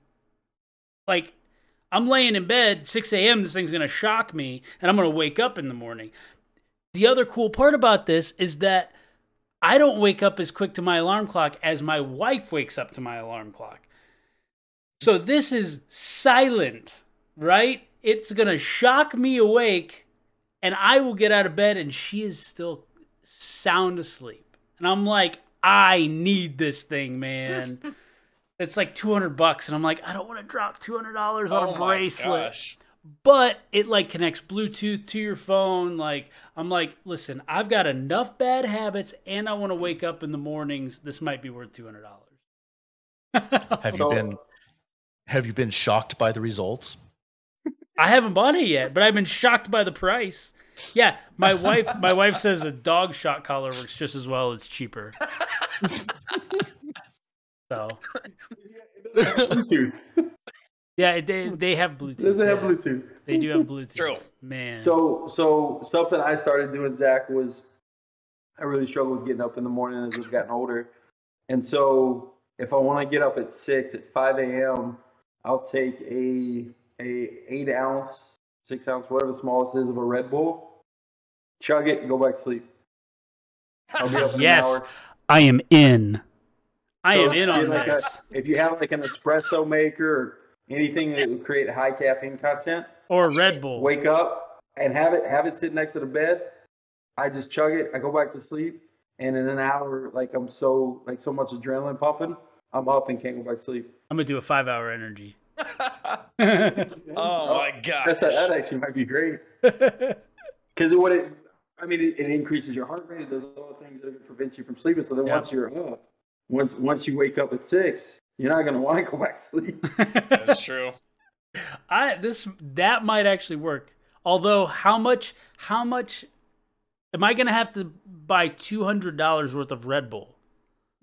Because this bracelet is two hundred dollars. So like I'm trying to outweigh this here. Okay, You but here's the thing: you buy the two hundred dollar bracelet and it doesn't work, you're stuck with it. You buy one Red Bull, you try it, you're only stuck with five bucks. That's a good point. I'll try the Red Bull Or buy first. more energy, they're like a buck fifty. Yeah. Yeah, they are. They are. I haven't try tried. that for five days, you know if it's worth it. yeah. or just get listen, your raise and use uh, cold Mr. Zach Lee. Oh Bam. yeah. This man, this man knows what he's talking about. No, I uh, uh, uh, first time I ever did a five hour energy. Right, I tried this thing. I, I drank the thing quick. It was like, all right, we're moving on with life, whatever. And like a half an hour later, my heart is pumping. I'm telling you, I could feel it through my entire body.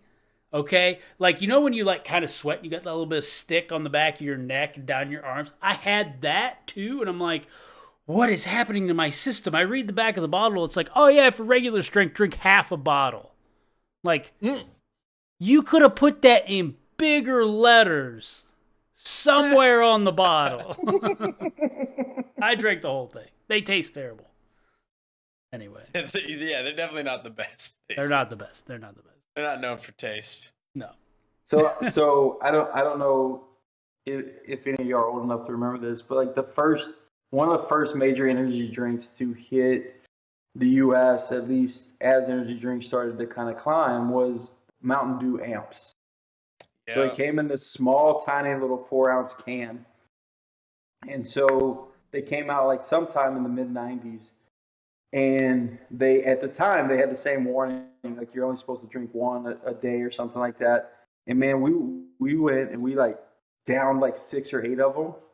My gosh. I swear I have never, other than that time, ever heard colors and seen sounds. but man, I I could literally see the words coming out of your mouth. Everything looked like Sesame Street. Oh my gosh. That's awesome. That's Oh my gosh, I'd probably freak out. I would be out of there. awesome. I, I I thought I again it was it was new like you didn't really know anything about energy drinks so like I was convinced that I had just like taken acid or something yeah. like I was convinced there was like a narcotic in there I was, I was There like might a oh, have been. whole another level Yeah, I mean, might There might have been. Yeah, you're right. There, there, There what, might if, what if still there be. was? Yeah. Man, I mean That's like the original ca- Coke. yeah Mhm. Yeah. go. There you go. I mean Alright. caffeine is a is a pretty pretty heavy drug when you think about it Yeah. Yeah. I um I was sick a couple of days ago and I drank like just nothing but water for like 3 days and I like at one point I got a real bad headache. And I was like, "You know what? I haven't drank coffee in the last 3 days." I drank coffee, the headache was gone. I was like, "Dang it." Like at that point I know I'm like, "Oh, got to really cut back on this coffee thing or something, but I like coffee. yeah so if you're gonna cut back on coffee you probably shouldn't do the Red Bull to wake Yeah, up. right. Yeah, right. I just won't drink coffee anymore. I'll just drink You're like, Red I'm just gonna change it to the energy Yeah, drinks. yeah. Only the Red Bull. Man, coffee sounds like- good. It's like saying you're addicted to weed, Zach. Going, I'm not gonna smoke the joints. I'm just gonna eat the gummy bears. Uh, you know, hey, let, real quick though, coffee. I'm just gonna those little it. UFO things that Christian Ninja was talking about, those UFO thing, candy things. I was like, Huh? dude, bro, these look like little edibles, and he's like talking about how like you just like, yeah, whoa. I was like, that's probably what it was, bro. Like your mouth gets all dry. I'm like, yeah. Yeah, he, he made it sound like it was like LSD. I know. He talking about there being a trip, and I'm like, dude, Yeah. like I'm not googling this. Yeah, you're like, I'm, I don't know. Sounds like we had some sketch candies back yeah, in the day. right? Jeez. I mean, we did have candy cigarettes. it's true. That is true. Yes. Yep. It's like every single every single child pretended to be their parent or grandparent smoking a cigarette. Yeah. My uh, another that's another one of those things that my parents were like, "No, you're not getting those." Like just that pretending of smoking in your mind was like like they're just like, "No." How did they feel about toy guns? Nope, no toy guns. I mean, I had the occasional like Nerf gun, but it was very much you're not shooting people. Like my son, I don't care. My stepson, he's got tons of guns. You don't shoot people. Like, and so we kind of. Eh, eh, the other thing is that my wife's family, they're all into guns, so they're all about the gun safety and everything. So we kind of use his Nerf guns to teach him the gun safety, which then you know it, it allows the whole you know you don't shoot people and this and that and all those kinds of things. It's it's helped out with that, but you know it's he still has his guns. He has plenty of them, and just you don't shoot people. And I'm like, see, my parents they could have done that for me. I could have played with my guns. You know, Yeah. I never had guns growing up. And you could have watched Pokemon. I know. That Shoot just the won't put them in my pocket. yeah, shoot the Pokemon. Come on, this just writes Huge. itself, man. That would have went together. Oh my Man, they're bad. so when they're on your TV screen, you shoot. Yeah, there you go. Man. like Duck Hunt. You just get little Pokemon characters. You're just blasting them away. Uh, that's funny. All right, well, I think we're gonna call it here. How's that sound? Sounds good, my man. That's good. Thanks for coming out, guys. Have a great, Absolutely. have a great rest of your night. Yep. A great rest of your Thursday, by the way. You guys, you guys got a few minutes. So Yeah, 15. Yeah, happy Good Friday and have a happy Easter. How's that sound? Yeah, you guys You too. too. Yes, y'all too. I'm sadly gonna be lonely. My wife is going It's going where? visit her family. She's going to Omaha to visit her family. She's taking the dogs. I have to work all weekend, so Oh. yeah. Oh, it sounded for a Yeah, second I'm there. It sounded like you were gonna have like this awesome stream schedule for the weekend. Oh yeah, it would have been great if I hadn't uh, had to work uh, two seven-hour shifts at my at the bartending job. Hey, there you I go. mean, hopefully, I'll get paid well, but you never know. Plenty of time to people- stream. Aren't drinking for Easter, and I get no tips, and yeah, I just come back all sad. True. I think people use any reason to drink, so I think you're probably good. especially in Wisconsin. Like okay, so there's like cheese and wine. Do people in Wisconsin do like beer and wine, beer and cheese? Like that's a beer and cheese. Yeah. Okay. Yeah, there's like Isn't there stuff- a major have you ever had- brewery? Seems like a good combination, to be honest. Um, I mean, there's there's a lot of microbreweries in Wisconsin, but there's like Miller, Miller Miller. Lite. and- Yeah, Miller is like the biggest one. So you say I knew there was like a major beer that was out of Wisconsin. Yeah, Miller Miller is huge. Like people drink that over Bud, but like there's a ton of microbreweries. Like literally any small town you go in, there's probably a microbrewery there. And then you said beer and cheese. There's stuff called beer cheese soup. Like we, we That's make exactly soup. what I was thinking of. Yeah, we make soup with beer and cheese. That It is sounds really amazing. It Does is- it taste is like beer? dense.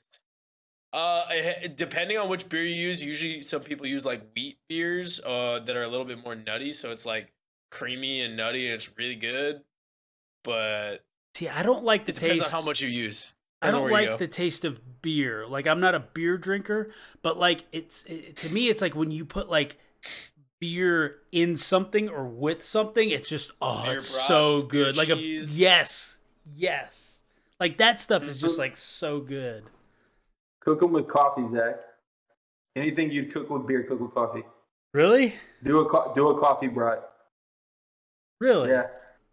Yes. But I'm I'm cutting out the coffee for Red Bull. So can I do Red Bull? No. I mean, if you can cut it out for Red Bull, you can eat it instead of drinking it. yeah, that's true. I mean, you're already creating all these little loopholes. It cooks all the caffeine out. You'll be fine. Yeah, there we go. That's funny. Oh, yeah, man. man. Whatever you need to tell yourself. yeah, yeah, sure. It's a magical drink.